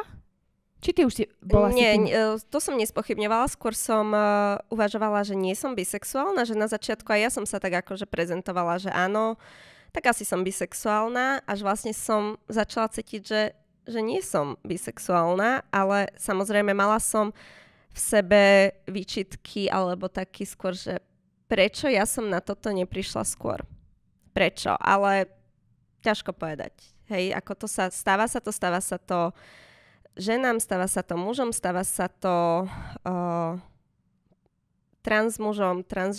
Jednoducho ty máš právo sa meniť, hej, a, a je jedno, kedy na to prídeš a nie je na tom vlastne nič, nič zlé. Tak ono na niektoré veci a teda na čokoľvek, čo v živote spôsobuje to, či budeš šťastný alebo nešťastný, nie je nikdy neskoro. A ja som to riešila aj v poslednej dobe, keď ja som si tak hovorila a dlhodobo som veľmi chcela vlastne robiť v živote, vrátiť sa k fyzike a robiť ju v medicínsku fyziku, proste lekárskú fyziku a strašne som to chcela a vlastne už od školy som to chcela a dlho som to tak akože posúvala, že a nie, ja už som stará. Uh-huh. Posledné roky, možno posledných 5-6 rokov, každý rok som si povedala, že už som stará. A tento rok som si povedala, že ja by som tak strašne chcela si urobiť ten doktorát z lekárskej fyziky. A dá sa to s mojou školou, zistila som to akože po dlhej dobe, že sa to dá a a stále som si hovorila, že som stará. A potom som si povedala, že ale s týmto istým prídem o rok, o dva roky a budem uh-huh. už len staršia. Áno. A potom som si presne povedala, že na veci, ktoré ťa robia šťastným, nie, nikdy neskoro. Áno, presne tak. Presne tak. A, že, a vlastne, že ak si vezmi, že pred 5 rokmi si bola mladšia, hej? takže Áno. si mohla začať kľudne aj vtedy, vieš? Akože, ale to je jasné, že to zase si hovorím, že n- nemôžem ani ja tak uh, tak žiť, že si budem vyčítať nejaké veci z minulosti. Všetko prišlo, všetko nie. prišlo v ideálny čas. Hej. A určite ani, ani neľutujem, hej, že ani to manželstvo, ani nič. Jednoducho ja mám krásneho syna, veci sú tak, ako mali byť. Toto je môj život, moja cesta a o, určite nebudem svoj ďalší život žiť v nejakom výčitkách. V nejakých výčitkách, mm. hej, jednoducho takto sa mi to stalo, mohlo sa to stať inak, ale jednoducho už, už je to tak, ako to je a je to v poriadku. Dôležité je, že že teraz je tak fajn, vieš. Nestretávaš sa s tým, že ti ľudia píšu, že za rozpodom tvojho manželstva uh, stojí to, že si zmenila orientáciu? Lebo ty si to... si to myslí. Ale ty si to poprela, že to nie je pravda. No, lebo to nie je pravda. lebo to nie je pravda, ale uh, určite to malo potom nejaký vplyv na, na to, že už tam ani nebola akože, to mám povedať, aby som to nejak normálne, jednoducho, áno, určite to, keď som na to prišla, už to malo potom nejaký vplyv aj na ten vývoj, vývoj celej situácie uh, a ten rozvod a tak ďalej, hej, ale nebol to ten primárny dôvod. Nebol, ale zase, hej, nemôžeme úplne všetko uh, dávať pomimo, že toto je jedna vec, toto je druhá Áno, vec. to všetko si ručka v ručke Ru- spolu. Viac menej áno, mm. ale mhm. nebol to rozhodne ten primárny dôvod a keď si to niekto myslí, nech sa páči. Akože nevadí. Takže uh, u teba to nebolo také, lebo to presne som riešila aj u toho môjho bývalého, že, uh, že veľa ľudí to má tak, že celý život to vedia ale oni chcú tú klasickú rodinu, chcú to dieťa, tak proste idú do toho vzťahu s tým, že dobre, tak teba si teraz vezmem, budeme mať spolu dieťa potom v 50 alebo skôr prídu na to, že dobre, už toto nechcú, lebo toto nie je ich život. A presne keď som prvýkrát začala v tom mojom minulom vzťahu badať takéto nejaké zvláštne náznaky, ktoré sa mi úplne akože nezdali, tak mi presne kamarátka povedala, že no, že mám sa rozísť, lebo ten človek teraz je so mnou, lebo to je proste tlak spoločnosti, tlak veriacej rodiny a podobne a on teraz by nemohol proste, chápeš, a že on je so mnou, aby sme mali teda to dieťa, aby mal tú klasickú rodinu, ale čo potom budem robiť, keď on v 45 keď si povie, že dobre, idem si plniť svoje sny a žiť si ten svoj život a proste, že odíde odo mňa. Vieš, že toto je taký v našej spoločnosti dosť, nechcem hovoriť bežný, lebo nepoznám veľa takých ľudí, ale deje sa to.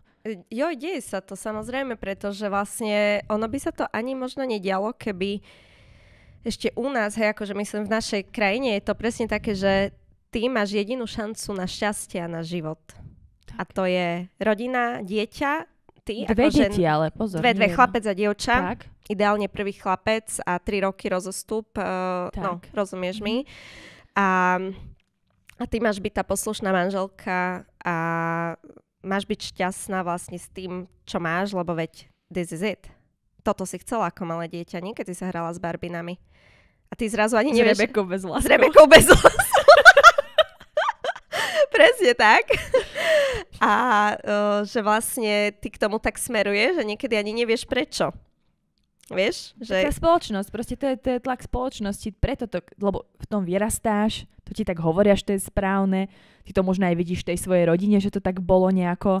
Áno, áno, určite, ja verím tomu, že u mňa aj o, to, to, že som sa pomerne skoro vydala, ja som mala 24, hej, čiže určite tam bolo aj zase, hej, sa vrátim k tomu otcovi, že tam možno bolo nejaký, mm, nejaký akože dôvod toho, že som chcela tú, tú rodinu.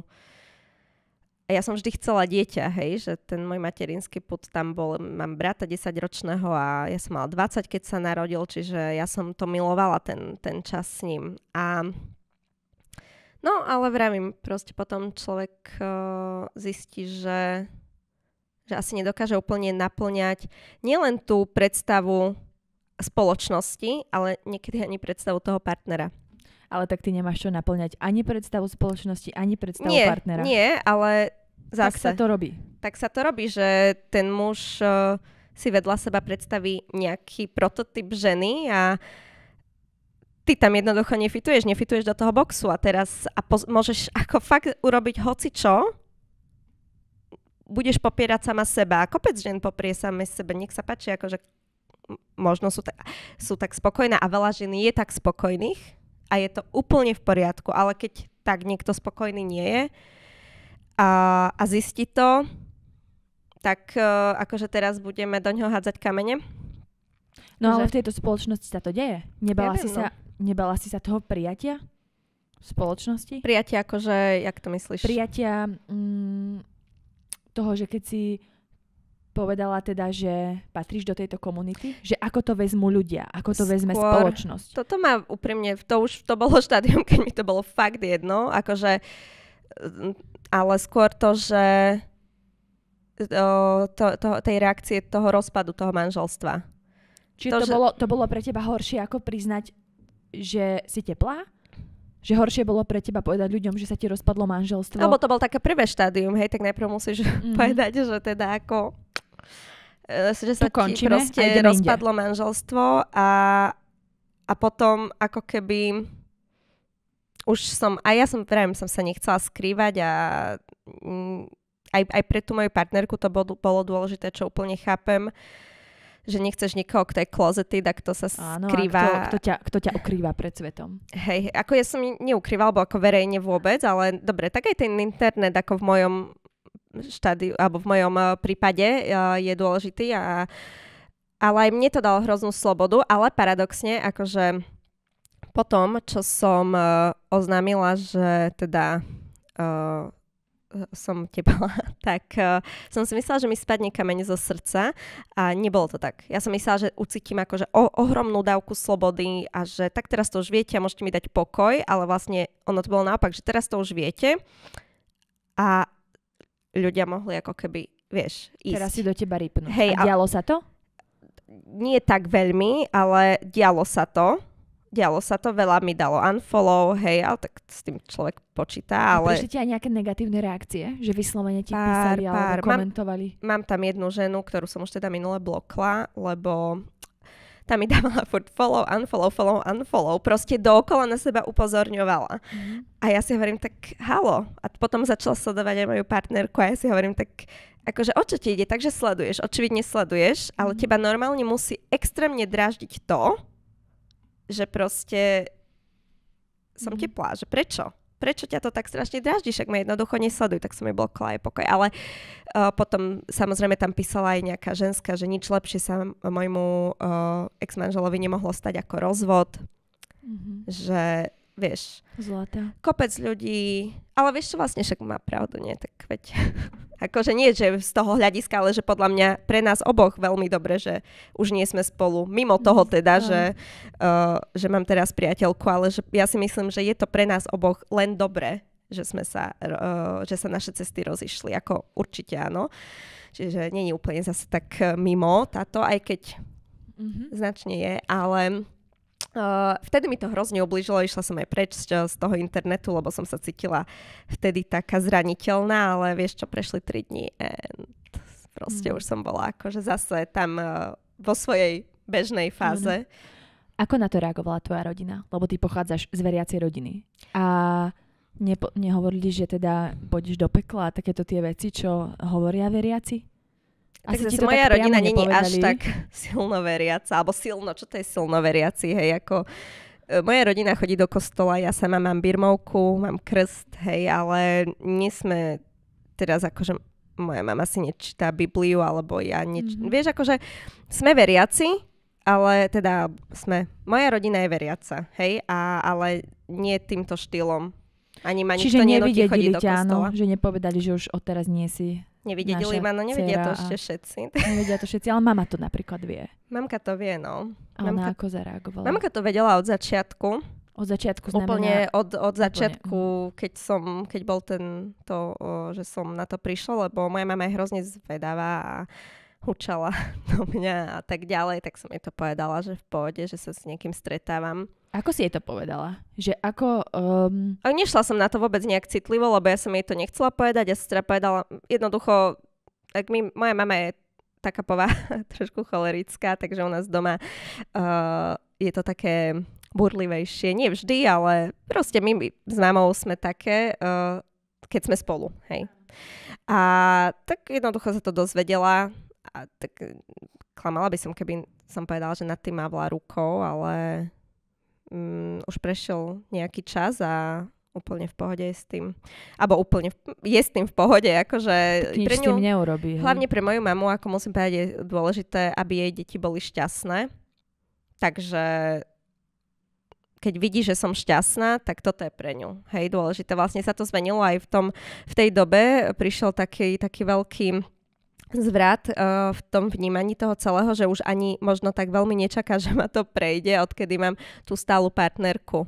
Vieš, že vidí, že som s ňou šťastná, že spolu žijeme a že, že jednoducho to nie je nejaký môj výstrelok, hej, alebo niečo, pretože ako viem, že k tejto téme a celkovo k tomuto príbehu sa hrozne ľudí stavia tak ako fascinujúco, že wow, hej, ale ako tieto veci sa dejú, len o nich ľudia nehovoria. A možno aj preto ja som, vlastne aj moja priateľka mi dala odvahu o tom rozprávať, aby keby to dodalo nejaké sebavedomie alebo niečo proste jednému človeku, tak to za to stojí.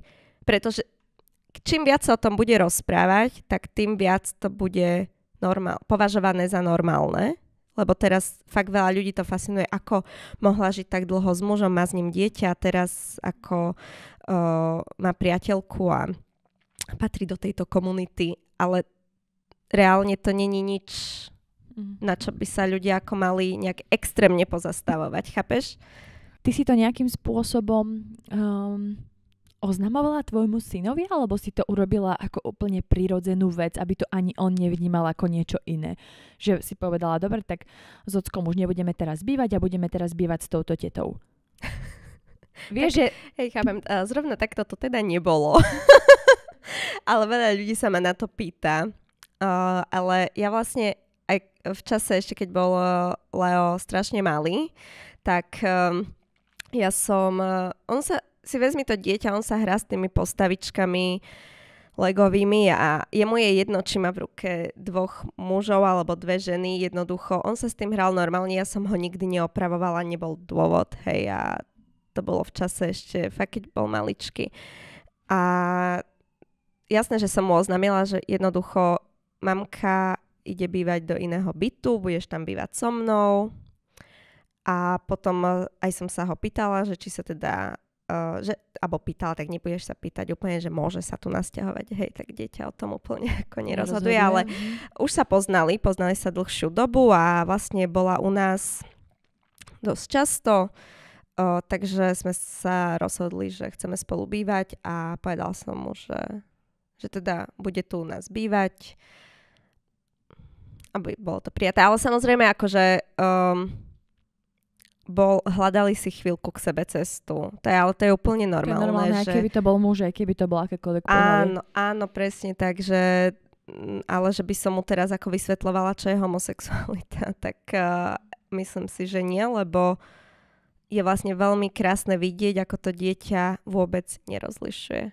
Že vôbec, vôbec uh, nemá to v sebe, hej tak to, čo máme v sebe, to je naučené. To sa nena- nenaučíš s tým, že toto je zlé, toto, toto je... Áno, áno. Mhm.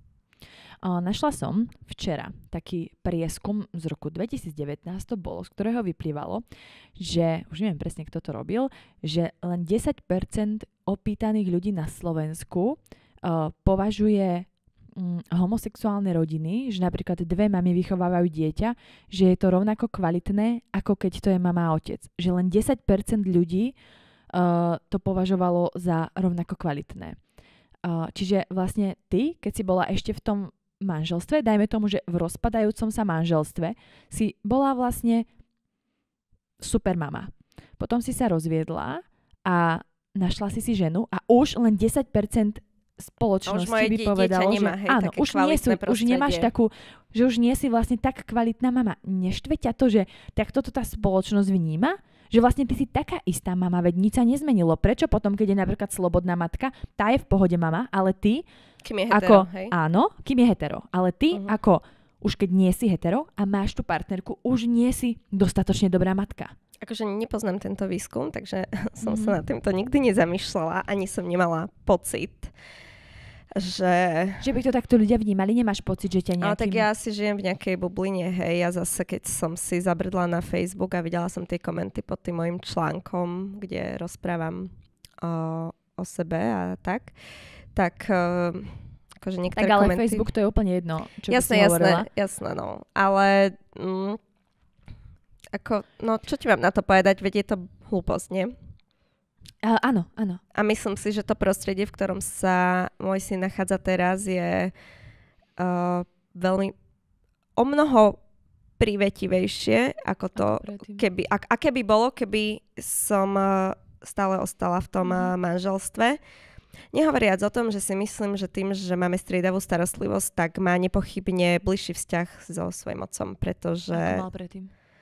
Tak bol malý, hej, ale ako reálne uh, takto je tam ten čas fakt rozdelený, nie som tam ja, že väčšinou tá matka je doma, hej, mm-hmm. a mhm. tým pádom ten vzťah sa s otcom tvorí ako ťažšie možno. Vieš čo myslím, že to dieťa ano, automaticky... času s ním trávi, tak Hej, logicky. automaticky mm. inklinuje vždy k tej matke, nehovoriac o tom, že ten otec e, tiež asi tým, že je to o to dieťa postarané, tak úplne nie každý muž, niektorí áno, niektorí nie, má takú tú to, ten chtíč alebo úplne tú eufóriu z toho, že tráviť s tým dieťaťom čas sám. Jednoducho tak to je, hej. A, ale a tým pádom, že vlastne máme tú stredovú starostlivosť, tak uh, si tvoria ten vzťah na úplne inej úrovni aj tú blízkosť. Áno. Uh, spomínala si ten článok na Facebooku, že čo tam akože ľudia písali. Máš um, pocit, že si objektom teraz nejakej šikany, urážok alebo nejakých uh, nadávok alebo podobne? Že máš taký pocit, alebo vôbec nemáš pocit, že by sa niečo takéto dialo? Že napríklad neočumujú vás na ulici ľudia, alebo to už sa vôbec nedeje? O, myslím, že nie. ako možno áno, ale ja... Nevnímaš to. Nie, akože že... nemyslím si, že teraz tak žijem v Prahe, hej, tam mm-hmm. akože Je to mňa... o trocha lepšie. V tomto, v tomto prieskume inak uh, bola aj, bolo, že Česko a skončilo oveľa lepšie. No určite, určite. Tak Česko tam, to je vlastne ateistická krajina, hej, mm. že mhm. tam je viac... Uh, ale nechcem to ako na toto Áno, zhadzovať úplne viere. vôbec. To nie, nemusí byť to, to byť kvôli viere. U niekoho áno, u niekoho nie, ale nechcem to akože nejak dávať do súvisu, aj keď som to teda ale, teraz lebo do vieš, dala, ja som, ale ja chápeš? som napríklad našla v tom, to bol mm, prieskum agentúra Focus alebo niečo takéto robila v tom roku 2019 a bolo tam tiež to, že, že uh, Slováci, že len 31% Slovákov a Sloveniek si myslí, že by het, homosexuálne páry mali mať, alebo homosexuálni ľudia mali mať rovnaké práva a príležitosti ako heterosexuálne a zo všetkých krajín v Európskej únii sme skončili na poslednom mieste. 31% a 98% malo, myslím, Švédsko, ktoré skončilo na prvom mieste. Česko tam malo možno 50 alebo tak. A boli tam aj podstatne, uh, podstatne viac uh, konzervatívnejšie alebo krajiny, ktoré sú viac veriace. Napríklad Rakúsko skončilo veľmi dobre a je to tiež krajina, kde je áno, veľa... Áno, áno, no čiže to s tým úplne Takže nesúvisí. nesúvisí to s tým. No, akože nie, nemám pocit, nikto... Uh, necítim nejakú nenávisť, ja sa ani nebojím, ani nikdy som sa nebala proste nejak prejaviť city, keď som bola vonku s dievčaťom, ale keď sme už tak pri tom, tak uh, stalo sa mi dvakrát práve v Prahe, keď som bola s kočkou a, a niekto pokrikoval. A bolo to v Prahe.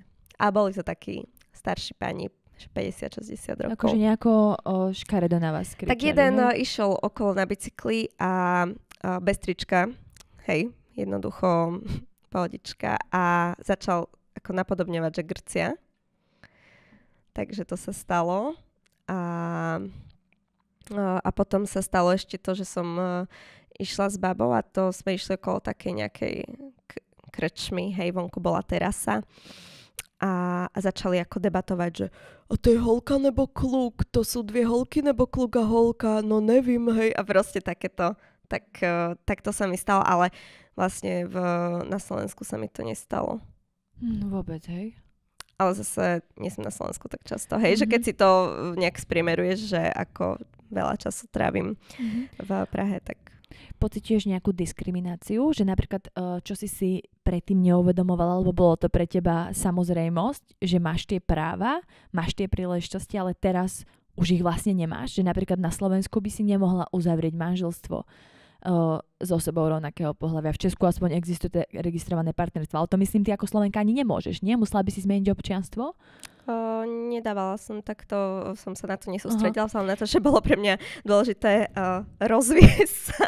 Takže, že či pociťuješ nejakú, uh, nejaké neprávo, nejakú diskrimináciu v nejakých veciach, alebo ešte sa ťa to nejako netýka? Uh, aktuálne tým, ako ja žijem a to, čo robím, tak um, tak nie, ale o, jasné, že napríklad v momente, keby sme sa chceli s partnerkou zobrať a tak, tak by ma to ako bude ma to mrzieť, ak sa dovtedy mm-hmm, uh, nepresadia mm-hmm. manželstva, uh, rovno, uh, stejnopohlavné uh, manželstva, tak určite ma to bude bolieť, lebo vlastne nevidím dôvod. Prečo? Koho ja obmedzujem tým, že žijem so ženou? Niekedy akože, vieš čo, teraz ťažko ti na to budem odpovedať, niekedy my sa tak akože naštveme o, počas bežného fungovania v domácnosti, tak jasné, že tieto témy sa otvoria. O, ale akože takto, ako teraz fungujeme, je všetko v poriadku. Akurát minule teda musím povedať, že som volala do uh, nejakého mobilnému operátorovi, že som si chcela preniesť číslo a hovorím mu, že no, že chcela by som spojiť čísla so svojou priateľkou. A povedala sa, a on, že dobre, dobre, zavolám vašej kamarátke a ja, že priateľke. A povedala som 5 krát priateľka a on 5 krát opravil, že OK, takže vaša kamarátka sa volá takto a takto a chcete spojiť čísla s kamarátkou a ja, že s priateľkou. A jednoducho mm-hmm. furt si išiel to svoje. A on si hovorím, tak rozumel, nerozumel, I don't know, hej, ale že to bolo také, že halo. No. A, a veľa, veľakrát uh, vlastne, čo sa ešte tak rozčulujem, je, že to uh, je, že keď um, sa ma heteromuž pýta, alebo ani sa nepýta, niekedy to len oznamujú, hej, že jednoducho uh, nie som lesba, len potrebujem poriadného chlapa. A poriadny, vieš, Penis. áno. Mhm. Že toto je problém, že si nemala poriadného... Ja si myslím, že som uh, mala aj Poriadny a, nie, penis? a nie len jeden, ale... Oh yeah. ale... Naraz? Nie, Nie naraz. Akože myslíš, že... E, Dobre, dobre, len tak, ako chcela som si ujasniť, že... nie, naraz nie, ale že ako, že viem, uh, myslím si, že za, mám 30 rokov a myslím si, že, Si nejaké penisy odskúšala. že, že hej, videla som nejaké veci už, nie som úplne ako z jaskyne a, a myslím si, že uh, nie je to to, ten Nie dôvod, to prečo som Rozumiem. Chápeš? No ale ako reálne sa to stáva jednoducho, áno, ty, od tých heteromužov uh, prichádza veľa nepochopenia a je to kvôli tomu, že jednoducho naozaj veľa vecí sa tu točí okolo uh, tých mužov, toxická maskulinita uh, je v našej spoločnosti veľmi silná a veľa mužov jednoducho nepochopí, ako ty môžeš ďalej pokračovať vo svojom živote bez toho všemohúceho penisu. Proste, ako ty môžeš byť spokojná. Rozumieš mi?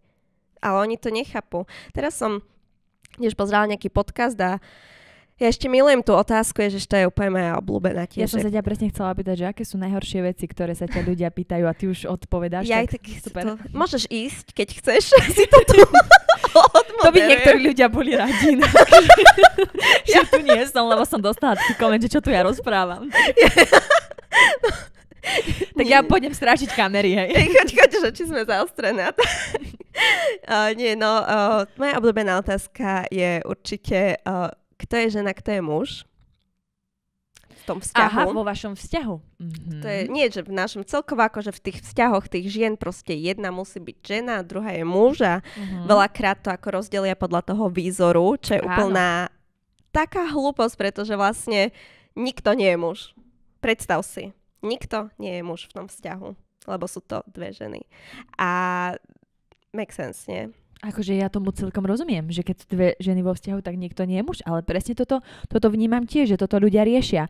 Že som veľakrát počula takéto, že no tá pozieve, tá vyzerá ako Áno. muž, to je taká mužatka, tak, Hej. lebo často je taký ten stereotyp, že vlastne lesby sú také tie proste Maskulín, maskulínny áno, vyzerá ako výzor, chlap, hej. áno, že nevieš ani posúdiť, že čo má medzi nohami, lebo Ale- proste vyzerá to ako presne ako aj vám hovorí, že tu sú to dievčatá, sú to, a popri tom vy obidve vyzeráte na prvú ako ženy, hej, takže Tak, uh, že áno. nie je tam pochybnosť ani výzorov, ale pri niektorých fakt, že už som to viackrát takto počula. Hej, hej, hej, že oni ako keby, je to pre tú spoločnosť také pochopiteľnejšie, že zase rozdelíme si tie, a, a nielen ako v lesbických vzťahoch, ale aj u chlapov, gay párov, že tak jeden je tá žena, hej, ten ženštilejší a druhý je ten mužný, ale uh, Čiže je to, tak, je to tak vlastne aj, u, že u mužov si nehovoria tí chlapi, že wow, po piči, pozri, dva penisy, mega, že si nehovoria, ale tiež riešia, že tak toto musí byť žena, alebo jedna vagina No tam to, to chýba podľa mňa vzťahu. to je to, jak to vnímajú, jak to celkovo vníma tá spoločnosť, že musia si zaradiť vlastne ten pár, že áno, niekto v tom vzťahu musí byť muž, ale tak toto proste nefunguje jednoducho. A to je zase, hej, aj ten tlak potom na,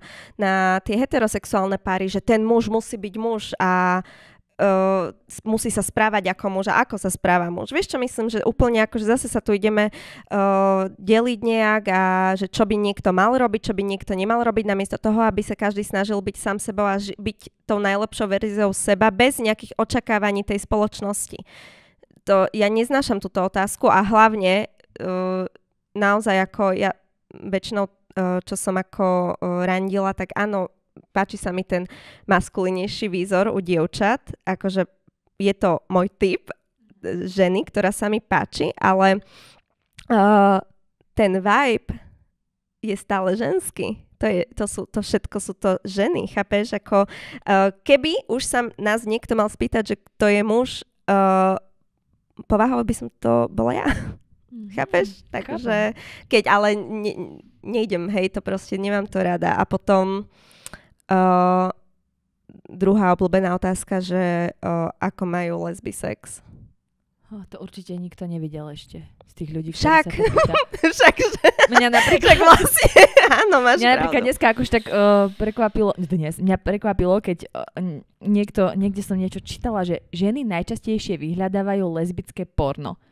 To chápem. No ja, no ty chápeš, ale ja napríklad nie. Ja potrebujem penis. Naozaj. Vieš, že, uh, chápeš, že, že čo to je za otázku, proste vie to každý vie. Ja neverím, že existuje na svete chlap, ktorý nikdy, nikdy nevidel lesbické porno. To mi nehovorte proste. A žena to isté.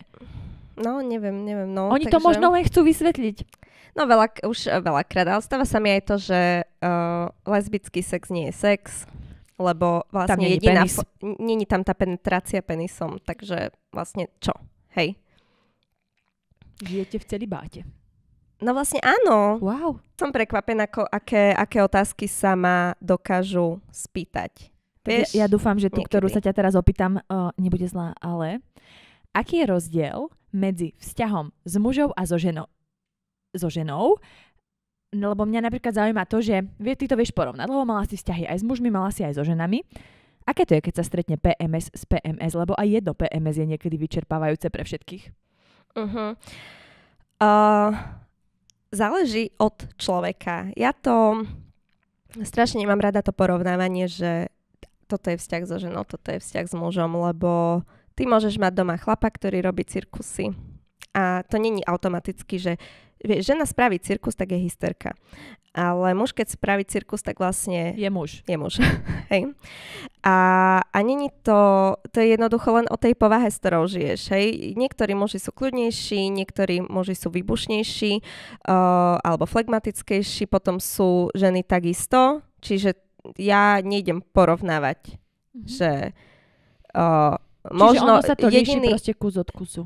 Po- ja, Ako- ako v akože, každom vzťahu. Ja, ne, ne, ja jednoducho neviem to, ti to takto povedať, lebo je, ja to berem, že je to, vždy to závisí od človeka. Ako povedať teraz, že napríklad, že dve ženy, že to je u nich uh, talianská domácnosť a lietajú taniere a, a že sme, uh, že sa, dajme tomu ako PMS, PMS, že sa stretne a ešte tu oslím tam mikrofón.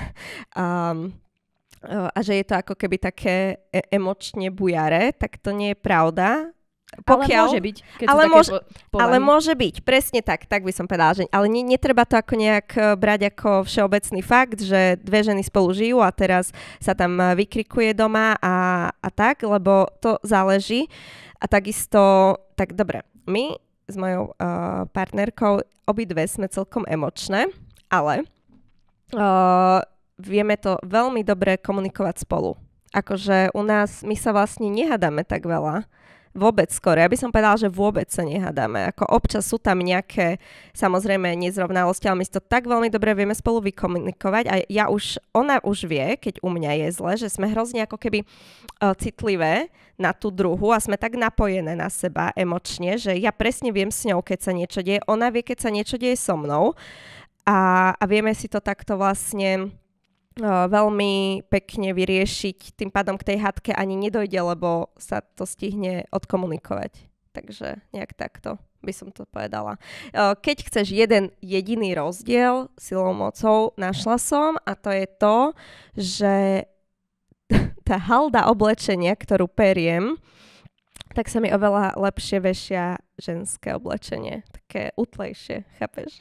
Ako tie veľké ťažké mikiny a, a veľké trička. Takže to je pre mňa určite eh, príjemnejšie vešať eh, prádlo len ženské. No ale zase vieš, kebyže máš ženu, ktorá je veľká, veľká žena, tak má tiež veľké mikiny. Áno, ale nemám.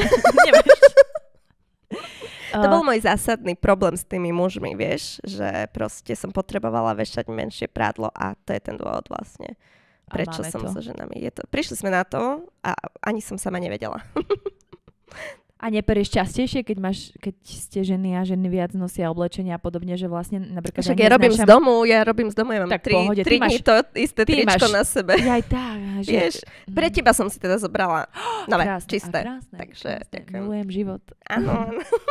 Prečo si myslíš, že majú ľudia taký problém s ľuďmi inej orientácie? Prečo ľuďom vadí láska? Neviem, prečo ich to tak dráždi veľmi.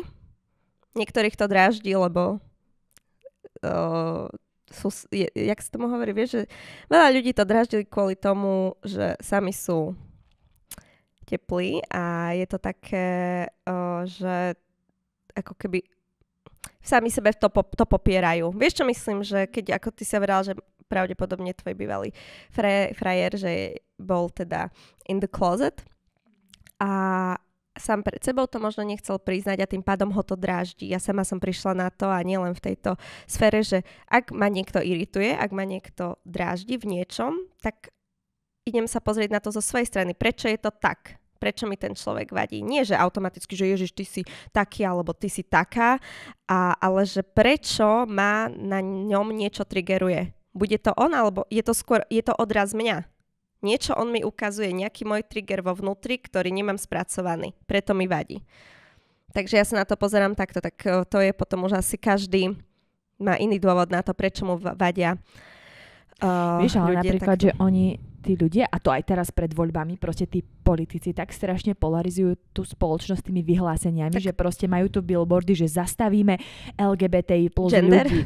Vieš, a to je úplne, že ja keď som videla ten billboard, si hovorím, hey, že to... naozaj... Hej, je to, toto, pre mňa to je nepochopiteľné, aj pre teba že to, to robia, vieš, že oni proste tento spôsob, alebo spôsob života, to nie je spôsob života, to je proste, že to ako ty žiješ, oni prezentujú ako neakceptovateľný, úplne netolerovateľný spôsob života. Popri tom ty nikomu neubližuješ tým. No, no tak lebo... Ale oni ubližujú práve, pretože oni ti vlastne popierajú to, že máš právo na život a že môžeš byť, že si vlastne taký Funkčná spoločná je, spoločnosť, funkčná jednotka spoločnosti takisto ako všetci ostatní, len žijem proste so ženou a milujem ženu, hej, ale um, tí politici, to je veľmi dobrá uh, hra, hej, pre nich. To je výborný, výborný vlastne materiál na to, ako vieš, veľakrát ty sa vlastne spojíš s niekým, že vás spojí tá spoločná nenávisť k niekomu, alebo vieš, že niekoho pohovárate a zrazu ste vlastne celkom kamoši, kamoši lebo nenávidíte toho istého človeka a, a jak dobre si zrazu rozumiete a keď tá nenávisť opadne, tak zistíš, že možno ani nemáš s tým človekom toľko spoločného a že vás spojilo len to, že niekoho nemáte radi, či už to bol učiteľ alebo kolegyňa, hej a tak ďalej, že niekto ti lezie na nervy.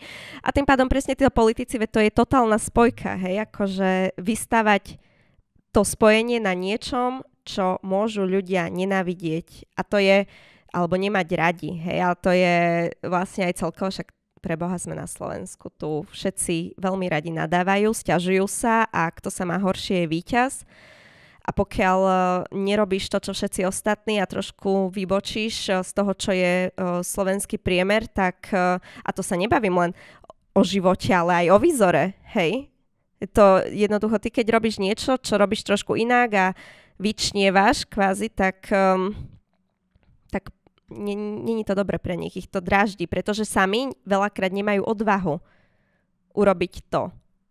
Urobiť niečo, čo by... Sami zastať sa vlastne sami seba. Ty sa musíš, alebo musíš, zastať sa sám seba je veľmi ťažké, hej, a potrebuješ na to jednoducho uh, veľ, veľkú silu, hej, presadiť vlastne to, že toto je môj život a prijať zodpovednosť za svoj život a za svoje pocity viac ako za pocity iných ľudí. V závere to je tvoj hmm. život, chápeš? Víš, ale potom sa presne stane to, že ty sa s tým priznáš, ty áno, proste žiješ si ten svoj šťastný život, ale potom sú tí proste ľudia, ktorí majú tie nenávistné prejavy proti tebe a píšu o tom 80 stranové knihy a či, čo to bolo a potom ten človek si povie, že no dobre a toto je proste zlo, presne ako povedal ten Kufa, genocida národa a idem ich zabiť a zastreli dvoch ľudí proste. No, je to hrozné. Ako Aké... Že Aké bolo toto pre teba, keď sa toto stalo, že vlastne niekto zastrelil niekoho, človeka ako ty? Len tak proste prišiel a zastrelil dvoch ľudí. Ako veľmi ťažko som to vtedy znašala. Veľmi. Jednoducho cítiš takú... Vyslovene cítiš neférovosť proste, alebo takú... To je ale úplne, že beznádej, lebo Taká s tým nič beznádej, neurobíš. hej, že, že naozaj, že... Teraz, jak si ty vravela, že dobre, 3 roky dozadu ma nikto nechcel, dajme tomu, nen- alebo nie, že ma nikto nenávidel, ale nikto ma ne- nenávidel kvôli orientácii. Alebo kvôli tomu, ako žiješ. Alebo kvôli tomu, ako žijem. A teraz ja som stále ten istý človek, ale žijem nie in, inak ako predtým. A iné, čo je možno štandard pre niekoho, hej, a, a teraz už vlastne nie som dosť dobrá, vieš, čo myslím, alebo že už, uh, už je dôvod na to, prečo uh, ma neznášať a tak. Hej, ale to je zase, potom si hovorím, že to hovorí niečo o tom človeku, ale nie je to dôvod na to, ako ignorovať uh, toto, alebo hovoriť si, že držte si to doma, je mi jedno, čo robíte doma. Treba o tom hovoriť práve kvôli tomuto, že ty, keby sme sa tvarili, že neexistujeme, kam sa posunieme? Nikam, nikam sa neposunieme a, a je hrozné vlastne to, že nie, niekto dokázal až takto nenávidieť, že dokázal zastreliť dvoch absolútne nevinných ľudí, ktorí nič, nič nerobili. Je to bezmocnosť. Je to fakt ako, že je to bezmocnosť a je to hlavne, vieš, bezmocnosť v tom, že ty už nezvrátiš to, čo sa stalo. Už sa to stalo. A, a nikdy nevieš, či niekomu neprepne. A plus, tento vlastne uh, to, čo sa stalo v teplárni, tak následne dodalo odvahu ďalším. Veď sa to stalo, že dievča kopli vo vlaku len kvôli tomu, že mala dúhovú stužku na taške. Že zrazu mali tí, ktorí predtým možno ešte akože dobre nenávideli veľa, uh, veľa uh, ľudí ako doma, tak zrazu si povedali, že OK, tak ja to vlastne môžem spraviť a je nás viac a zastavme to. A akože my si žijeme tuto v našom veľkom meste, v nejakej bubline s nejakými ľuďmi a neriešime to. Potom, keď z tej bubliny vyjdeš, tak zistíš, že to vlastne vôbec nie je také OK, ako si myslíš. No tak ale vieš, vidíš, presne to je to, že aj tí sami politici to robia. Vieš, ja keď vidím tie billboardy s tým, že zastavme týchto ľudí, tak mne je z toho až ťažko proste. No to by malo byť zakázané, robí. ja neviem, prečo to není zakázané. Že to ako... takto robia a tí ľudia ich ešte idú voliť, lebo áno, zastavme ich a zastavme utečencov z Ukrajiny, zastavme toto a podobné veci a to je, že proste mne príde, že nám chýba, že ani nie, že rešpekt a úcta, ale nám chýba proste úplne, že taký ten najväčší základ, že to, že proste príjmeš to, že tí ľudia tu sú a sú iní, ale čo, že sú iní proste? Ale iný, Prečo iný, ich teraz ideme... Iný ako ja, hej, alebo teda ako myslím iný ako ten človek, ktorý chce zastaviť LGBT, alebo si myslí, že to je rozklad spoločnosti. to je strašné, hej, ako ja, mne to jednoducho rozum neberie. Že, a to je celkovo problém u nás, že ľudia si nevedia nastaviť vlastné zrkadlo a absolútne nie sú otvorení iným spôsobom života, iným názorom. Ja a nenávisť není názor. Hej, to, je ďalšia vec. Prečo, pokiaľ ti niekto neubližuje, nemôžeš nechať tých ľudí žiť to, že sa budú môcť uh, sobašiť uh, páry rovnakého pohľavia, absolútne nejak nezniží porodovosť, uh, porodnosť, po, no, akože uh, ani uh, to, či sa hetero páry budú brať. Jednoducho, tam to nemá absolútne žiadny súvis. Chápeš? Čiže prečo to ľudia tak nenávidia? To je zase vravím len to, že veľmi ľahké je uh, niekoho nenávidieť a je to jednoduchšie, ako sa pozrieť na vlastné a reálne problémy, ktoré rieši táto krajina, alebo mala by riešiť a nerieši. Lebo vieš, napríklad, keď sú uh, tie duhové pochody, prajdy, tak uh, veľakrát, uh, čo si ty hovorila, že že ľudia hovoria, no však nechajte si to doma, nepretrčajte sa a podobne. A zrazu je ten Pride a sú tam tí ľudia, ktorí to tak ako keby dávajú až extrémne najavo, že sú iní a tie médiá si vyberú z tých 10 tisícov ľudí, alebo koľko uh-huh. na ten Pride príde, tých piatich, ktorí sú najextrémnejší, ktorí majú pro sebe na, pro, na sebe nalepený penis a ja neviem čo. A toto potom a ukážu potom je ľuďom. O, o, obraz, že t- tak to vyzerá. Áno, áno. Hej, a potom no. presne je obraz o o vás, o tejto komunite ľudí, že sú to šialenci, ktorí sa pretrčajú proste s penisom nalepeným na sebe, e, s odhalenými bradavkami a neviem s čím, lebo proste oni si vyberú len tie najväčšie extrémy. Mne príde, že aj tie médiá to ako keby... Ale vieš tom, že ako, no tak ty vieš, ale že s odhalenými bradavkami chodia heteráci po Prahe, keď sú 30 plus stupňov. Ale, ale muži, nie? To môžu. Muži, ale však aj, eh, aj na Pride sú aj muži, aj, aj ženy a aj eh, trans a tak. A akože pri heteromužovi môžu byť odhalené bradavky a pri iných eh, pohľaviach nemôžu byť odhalené bradavky. Ale to je aj na Instagrame. Keď si muž, tak je to no pohode, je to ale hrozné, čoko, čokoľvek akože ja... iné ti zablokuje Hej, Instagram. Chápem, no, pretože... Prečo? No, vieš. Pre, mm. prečo? A to, že A preto som tu vlastne v tomto podcaste. Vidíš, nemám Aby si- odhalené bradavky. No inak. Nie, ale treba Ale tá pochopiť. pani... Tá pani má!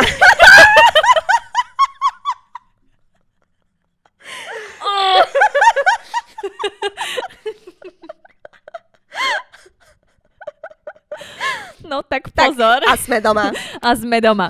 A sme doma.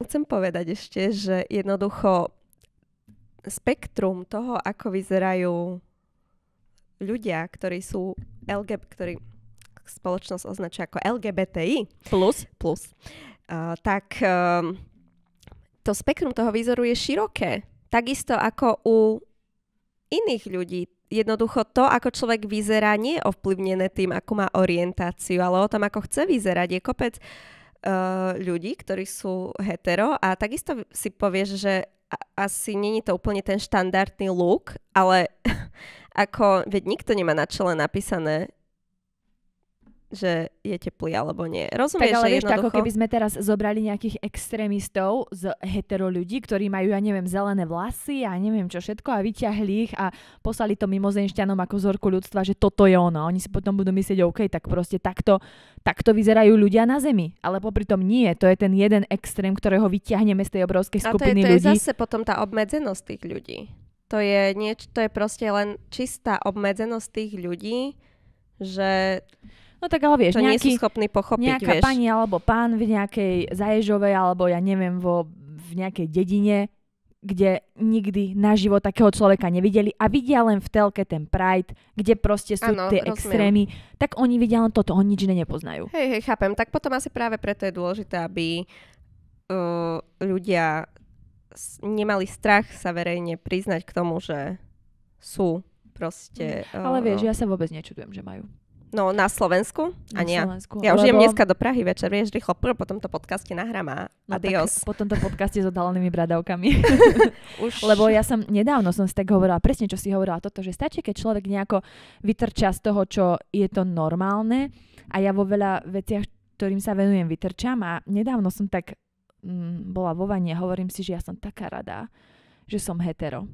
Že úplne som si to tak povedala, lebo že to je tak strašne ťažké, že tí ľudia to musia mať tak ťažké, obzvlášť tu na Slovensku, proste s tými predsudkami a so všetkým. Ja som to mala Charlotte, čo je transrodová žena a ona áno. jej také správy chodia. Ju, je sa stále deje to, že proste ju ľudia oslovujú v mužskom rode. A vieš, a to je také, že proste oni ťa popierajú. Oni ako keby proste neberú do úvahy tvoju individualitu, že stále ako keby proste mne príde, že táto spoločnosť je tak strašne pozadu a že tak strašne to ubližuje tým ľuďom. Je, je ako, jasné. Ja zase musím povedať, že neviem sa vžiť do niekoho, kto o, je transgender, hej, pretože ja som cis, hej. To je zase pre mňa niečo, téma, do ktorej sa ja ani nechcem púšťať, lebo je, musí to byť ako stokrát ťažšie. Ale Ty, určite to akože vieš aspoň stokrát. o trocha bližšie si k tomu pochopeniu. Lenže ako... vezmi si mňa, ešte aj výzorovo, ja jednoducho ne, ne, nepovedala by si na mňa, hej, že ešte ako keď idem napríklad aj s malým, proste nepovieš na mňa, že som lesba, hej. Čiže ja musím v tomto povedať, že o, ako nestretávam sa s nejakým, aj, ale ja robím z domu, chápeš, proste nemám Nemáš až taký kontakt s ľuďmi. Nemám kontakt s ľuďmi, nemám to ako, a plus fakt ako, že proste vyzerám ako vyzerám, čiže zase je to jednoduchšie veľakrát. Uh, fakt ako vlastne keď ty si uh, jednoducho, vy, um, jak to mám povedať, keď ten tvoj výzor je taký, uh, Potvrdzuje ten štandard, ten stereotyp, ako ženy majú vyzerať, ženy hej, matky. hej, hej, čiže ja ako v tomto zase nemôžem sa úplne vyjadrovať ku všetkému, lebo nemám, neviem, nemám tú skúsenosť a neviem úplne, vieš, ale tí, tí ako ľudia, ktorí naozaj, že ten výzor majú taký uh, pre bežných ľudí extravagantnejšie, alebo to, čo naša spoločnosť považuje za extravagantné, že sa ako oblieká a potom, alebo naopak, že sú uh, transgender a tak, uh, tak to majú neskutočne ťažké. To je niečo, čo jednoducho ľudia automaticky odsudzujú bez toho, aby sa snažili spoznať tú ich povahu toho človeka ako takého, akože rozumieš mi, že poďme tých ľudí vnímať ako ľudí a nie ako to je lesba, to je gay, vieš, alebo že čo, alebo ešte, ježiš, tie vieš, otázky, že a čo to je muž alebo žena, vieš, veď ako prečo je to pre vás také dôležité? Prečo je pre našu spoločnosť tak strašne dôležité ako nejak si zaškatulkovať toho človeka? Nevedia si nájsť bývanie častokrát, boja sa hľadať si bývanie v malom meste alebo na dedine podľa mňa nie je ani šanca na nejaké fungovanie veľké. Ako samozrejme záleží aj od rodiny, od toho prostredia, ale celkovo v spoločnosti, ako ja si veľmi, viem si ako pred, viem si len predstaviť, aký, aký to musí byť strach, aký to musí byť diskomfort dennodenne toto zažívať, lebo to sa, vieš, keby sa to stalo raz za čas, hej, tak dokážeš akože nejak si tako, Ale stále, že, no. ale vlastne no sa to deje non-stop. Je to, je to hrozné. Takže... A dôležité je to teraz povedať, keď máme pred voľbami, že dobre ísť voliť hlavne. Lebo veľa ľudí je takých, že a čo zmení jeden hlas a na čo, ale potom sa stiažujú na to, ako to funguje.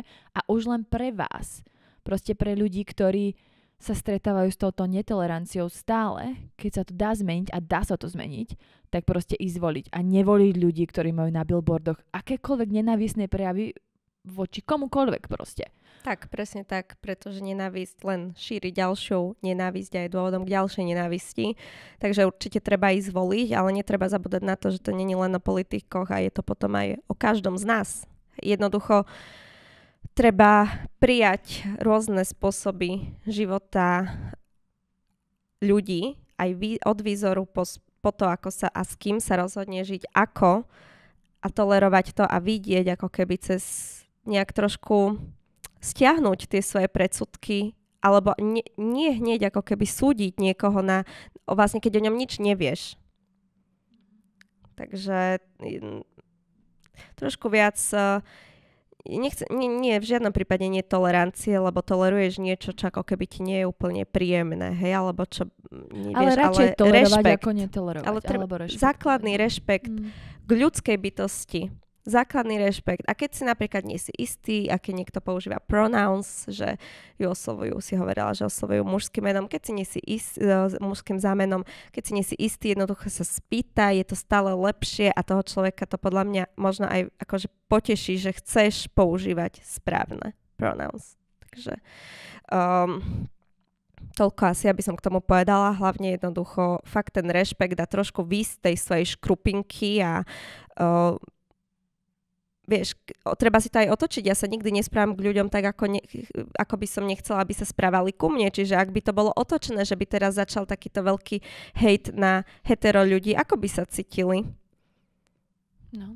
Vieš, to je, alebo ako by som, chcel by som ja, ako by som ja chcela, aby sa ku mne správali, ak by som bol v koži toho človeka. Je to, stále je to človek. A to, či je niekto uh, dobrý, zlý, alebo či ja ho hodím do nejakej škruping, do nejakej kategórie toho, že dobre, toto není zrovna niekto, s kým vajbujem, tak to není na základe toho, že akú má orientáciu, alebo roz, rozumieš mi? Áno.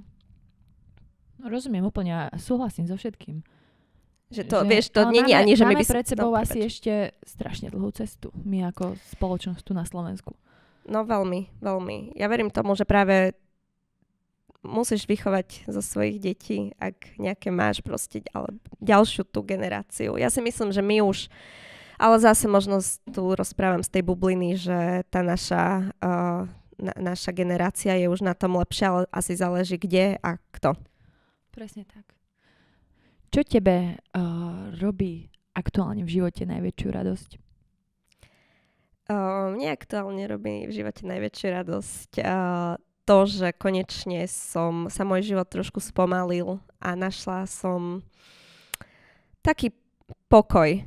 Pokoj. Nie, samozrejme, čaká ma ešte dlhá cesta aj uh, ako um, dokončenie rozvodu a uh, čaká ma uh, tá terapia hej, a spracovanie tých traum, ale aktuálne ja musím povedať, že ja som veľmi šťastná. Proste mám super byt, mám úžasnú, úžasnú partnerku, ja, ja som, ja som teraz strašne som zamilovaná, hej, ja neviem to ani opísať a mám akože som až dojatá z toho, uh, že sa mi, že mám také šťastie a že, že, že sa mi po šťastí, alebo tak mám povedať, že po takom krátkom čase sa mi fakt podarilo nájsť niekoho, kto je tak úžasný a že, že, že ja vlastne s ním tvorím pár a cítim sa veľmi, veľmi naplnená emočne. Niekedy mám chuť kričať uh, vlastne, že ak, uh, ako veľmi vlastne, Ježiš, to vystrihne. Mm-hmm. ako veľmi ju milujem a že je to strašne krásne, že som si nemyslela, že uh, Ježiš Mária, nečakané aj pre mňa, uh, že som si nemyslela, že niekedy toto ešte zažijem. Takže je to pre mňa fakt veľmi pekné. Som vďačná, dúfam, že to tak bude. Pardon, sa ospravedlňujem. Budem vám veľmi držať palce, aby to takto bolo no navždy ideálne. No, veríme. Aby ste mali čo najmenej prekážok v tejto spoločnosti a aby ste mohli žiť uh, taký život, ako vy chcete. Ďakujeme, prepáč, že som ťa kopla. Ďakujeme Vôbec veľmi nevadí. pekne a ďakujem, že som mohla uh, v tvojom podcaste čo to porozprávať. Dúfam, že to bolo prínosné alebo uh, minimálne v niektorých prípadoch zábavné. Keď... Uh, povedala by som, že aj, aj. Ďakujem aj, aj. veľmi pekne, Rebeka. Ďakujem, Maja.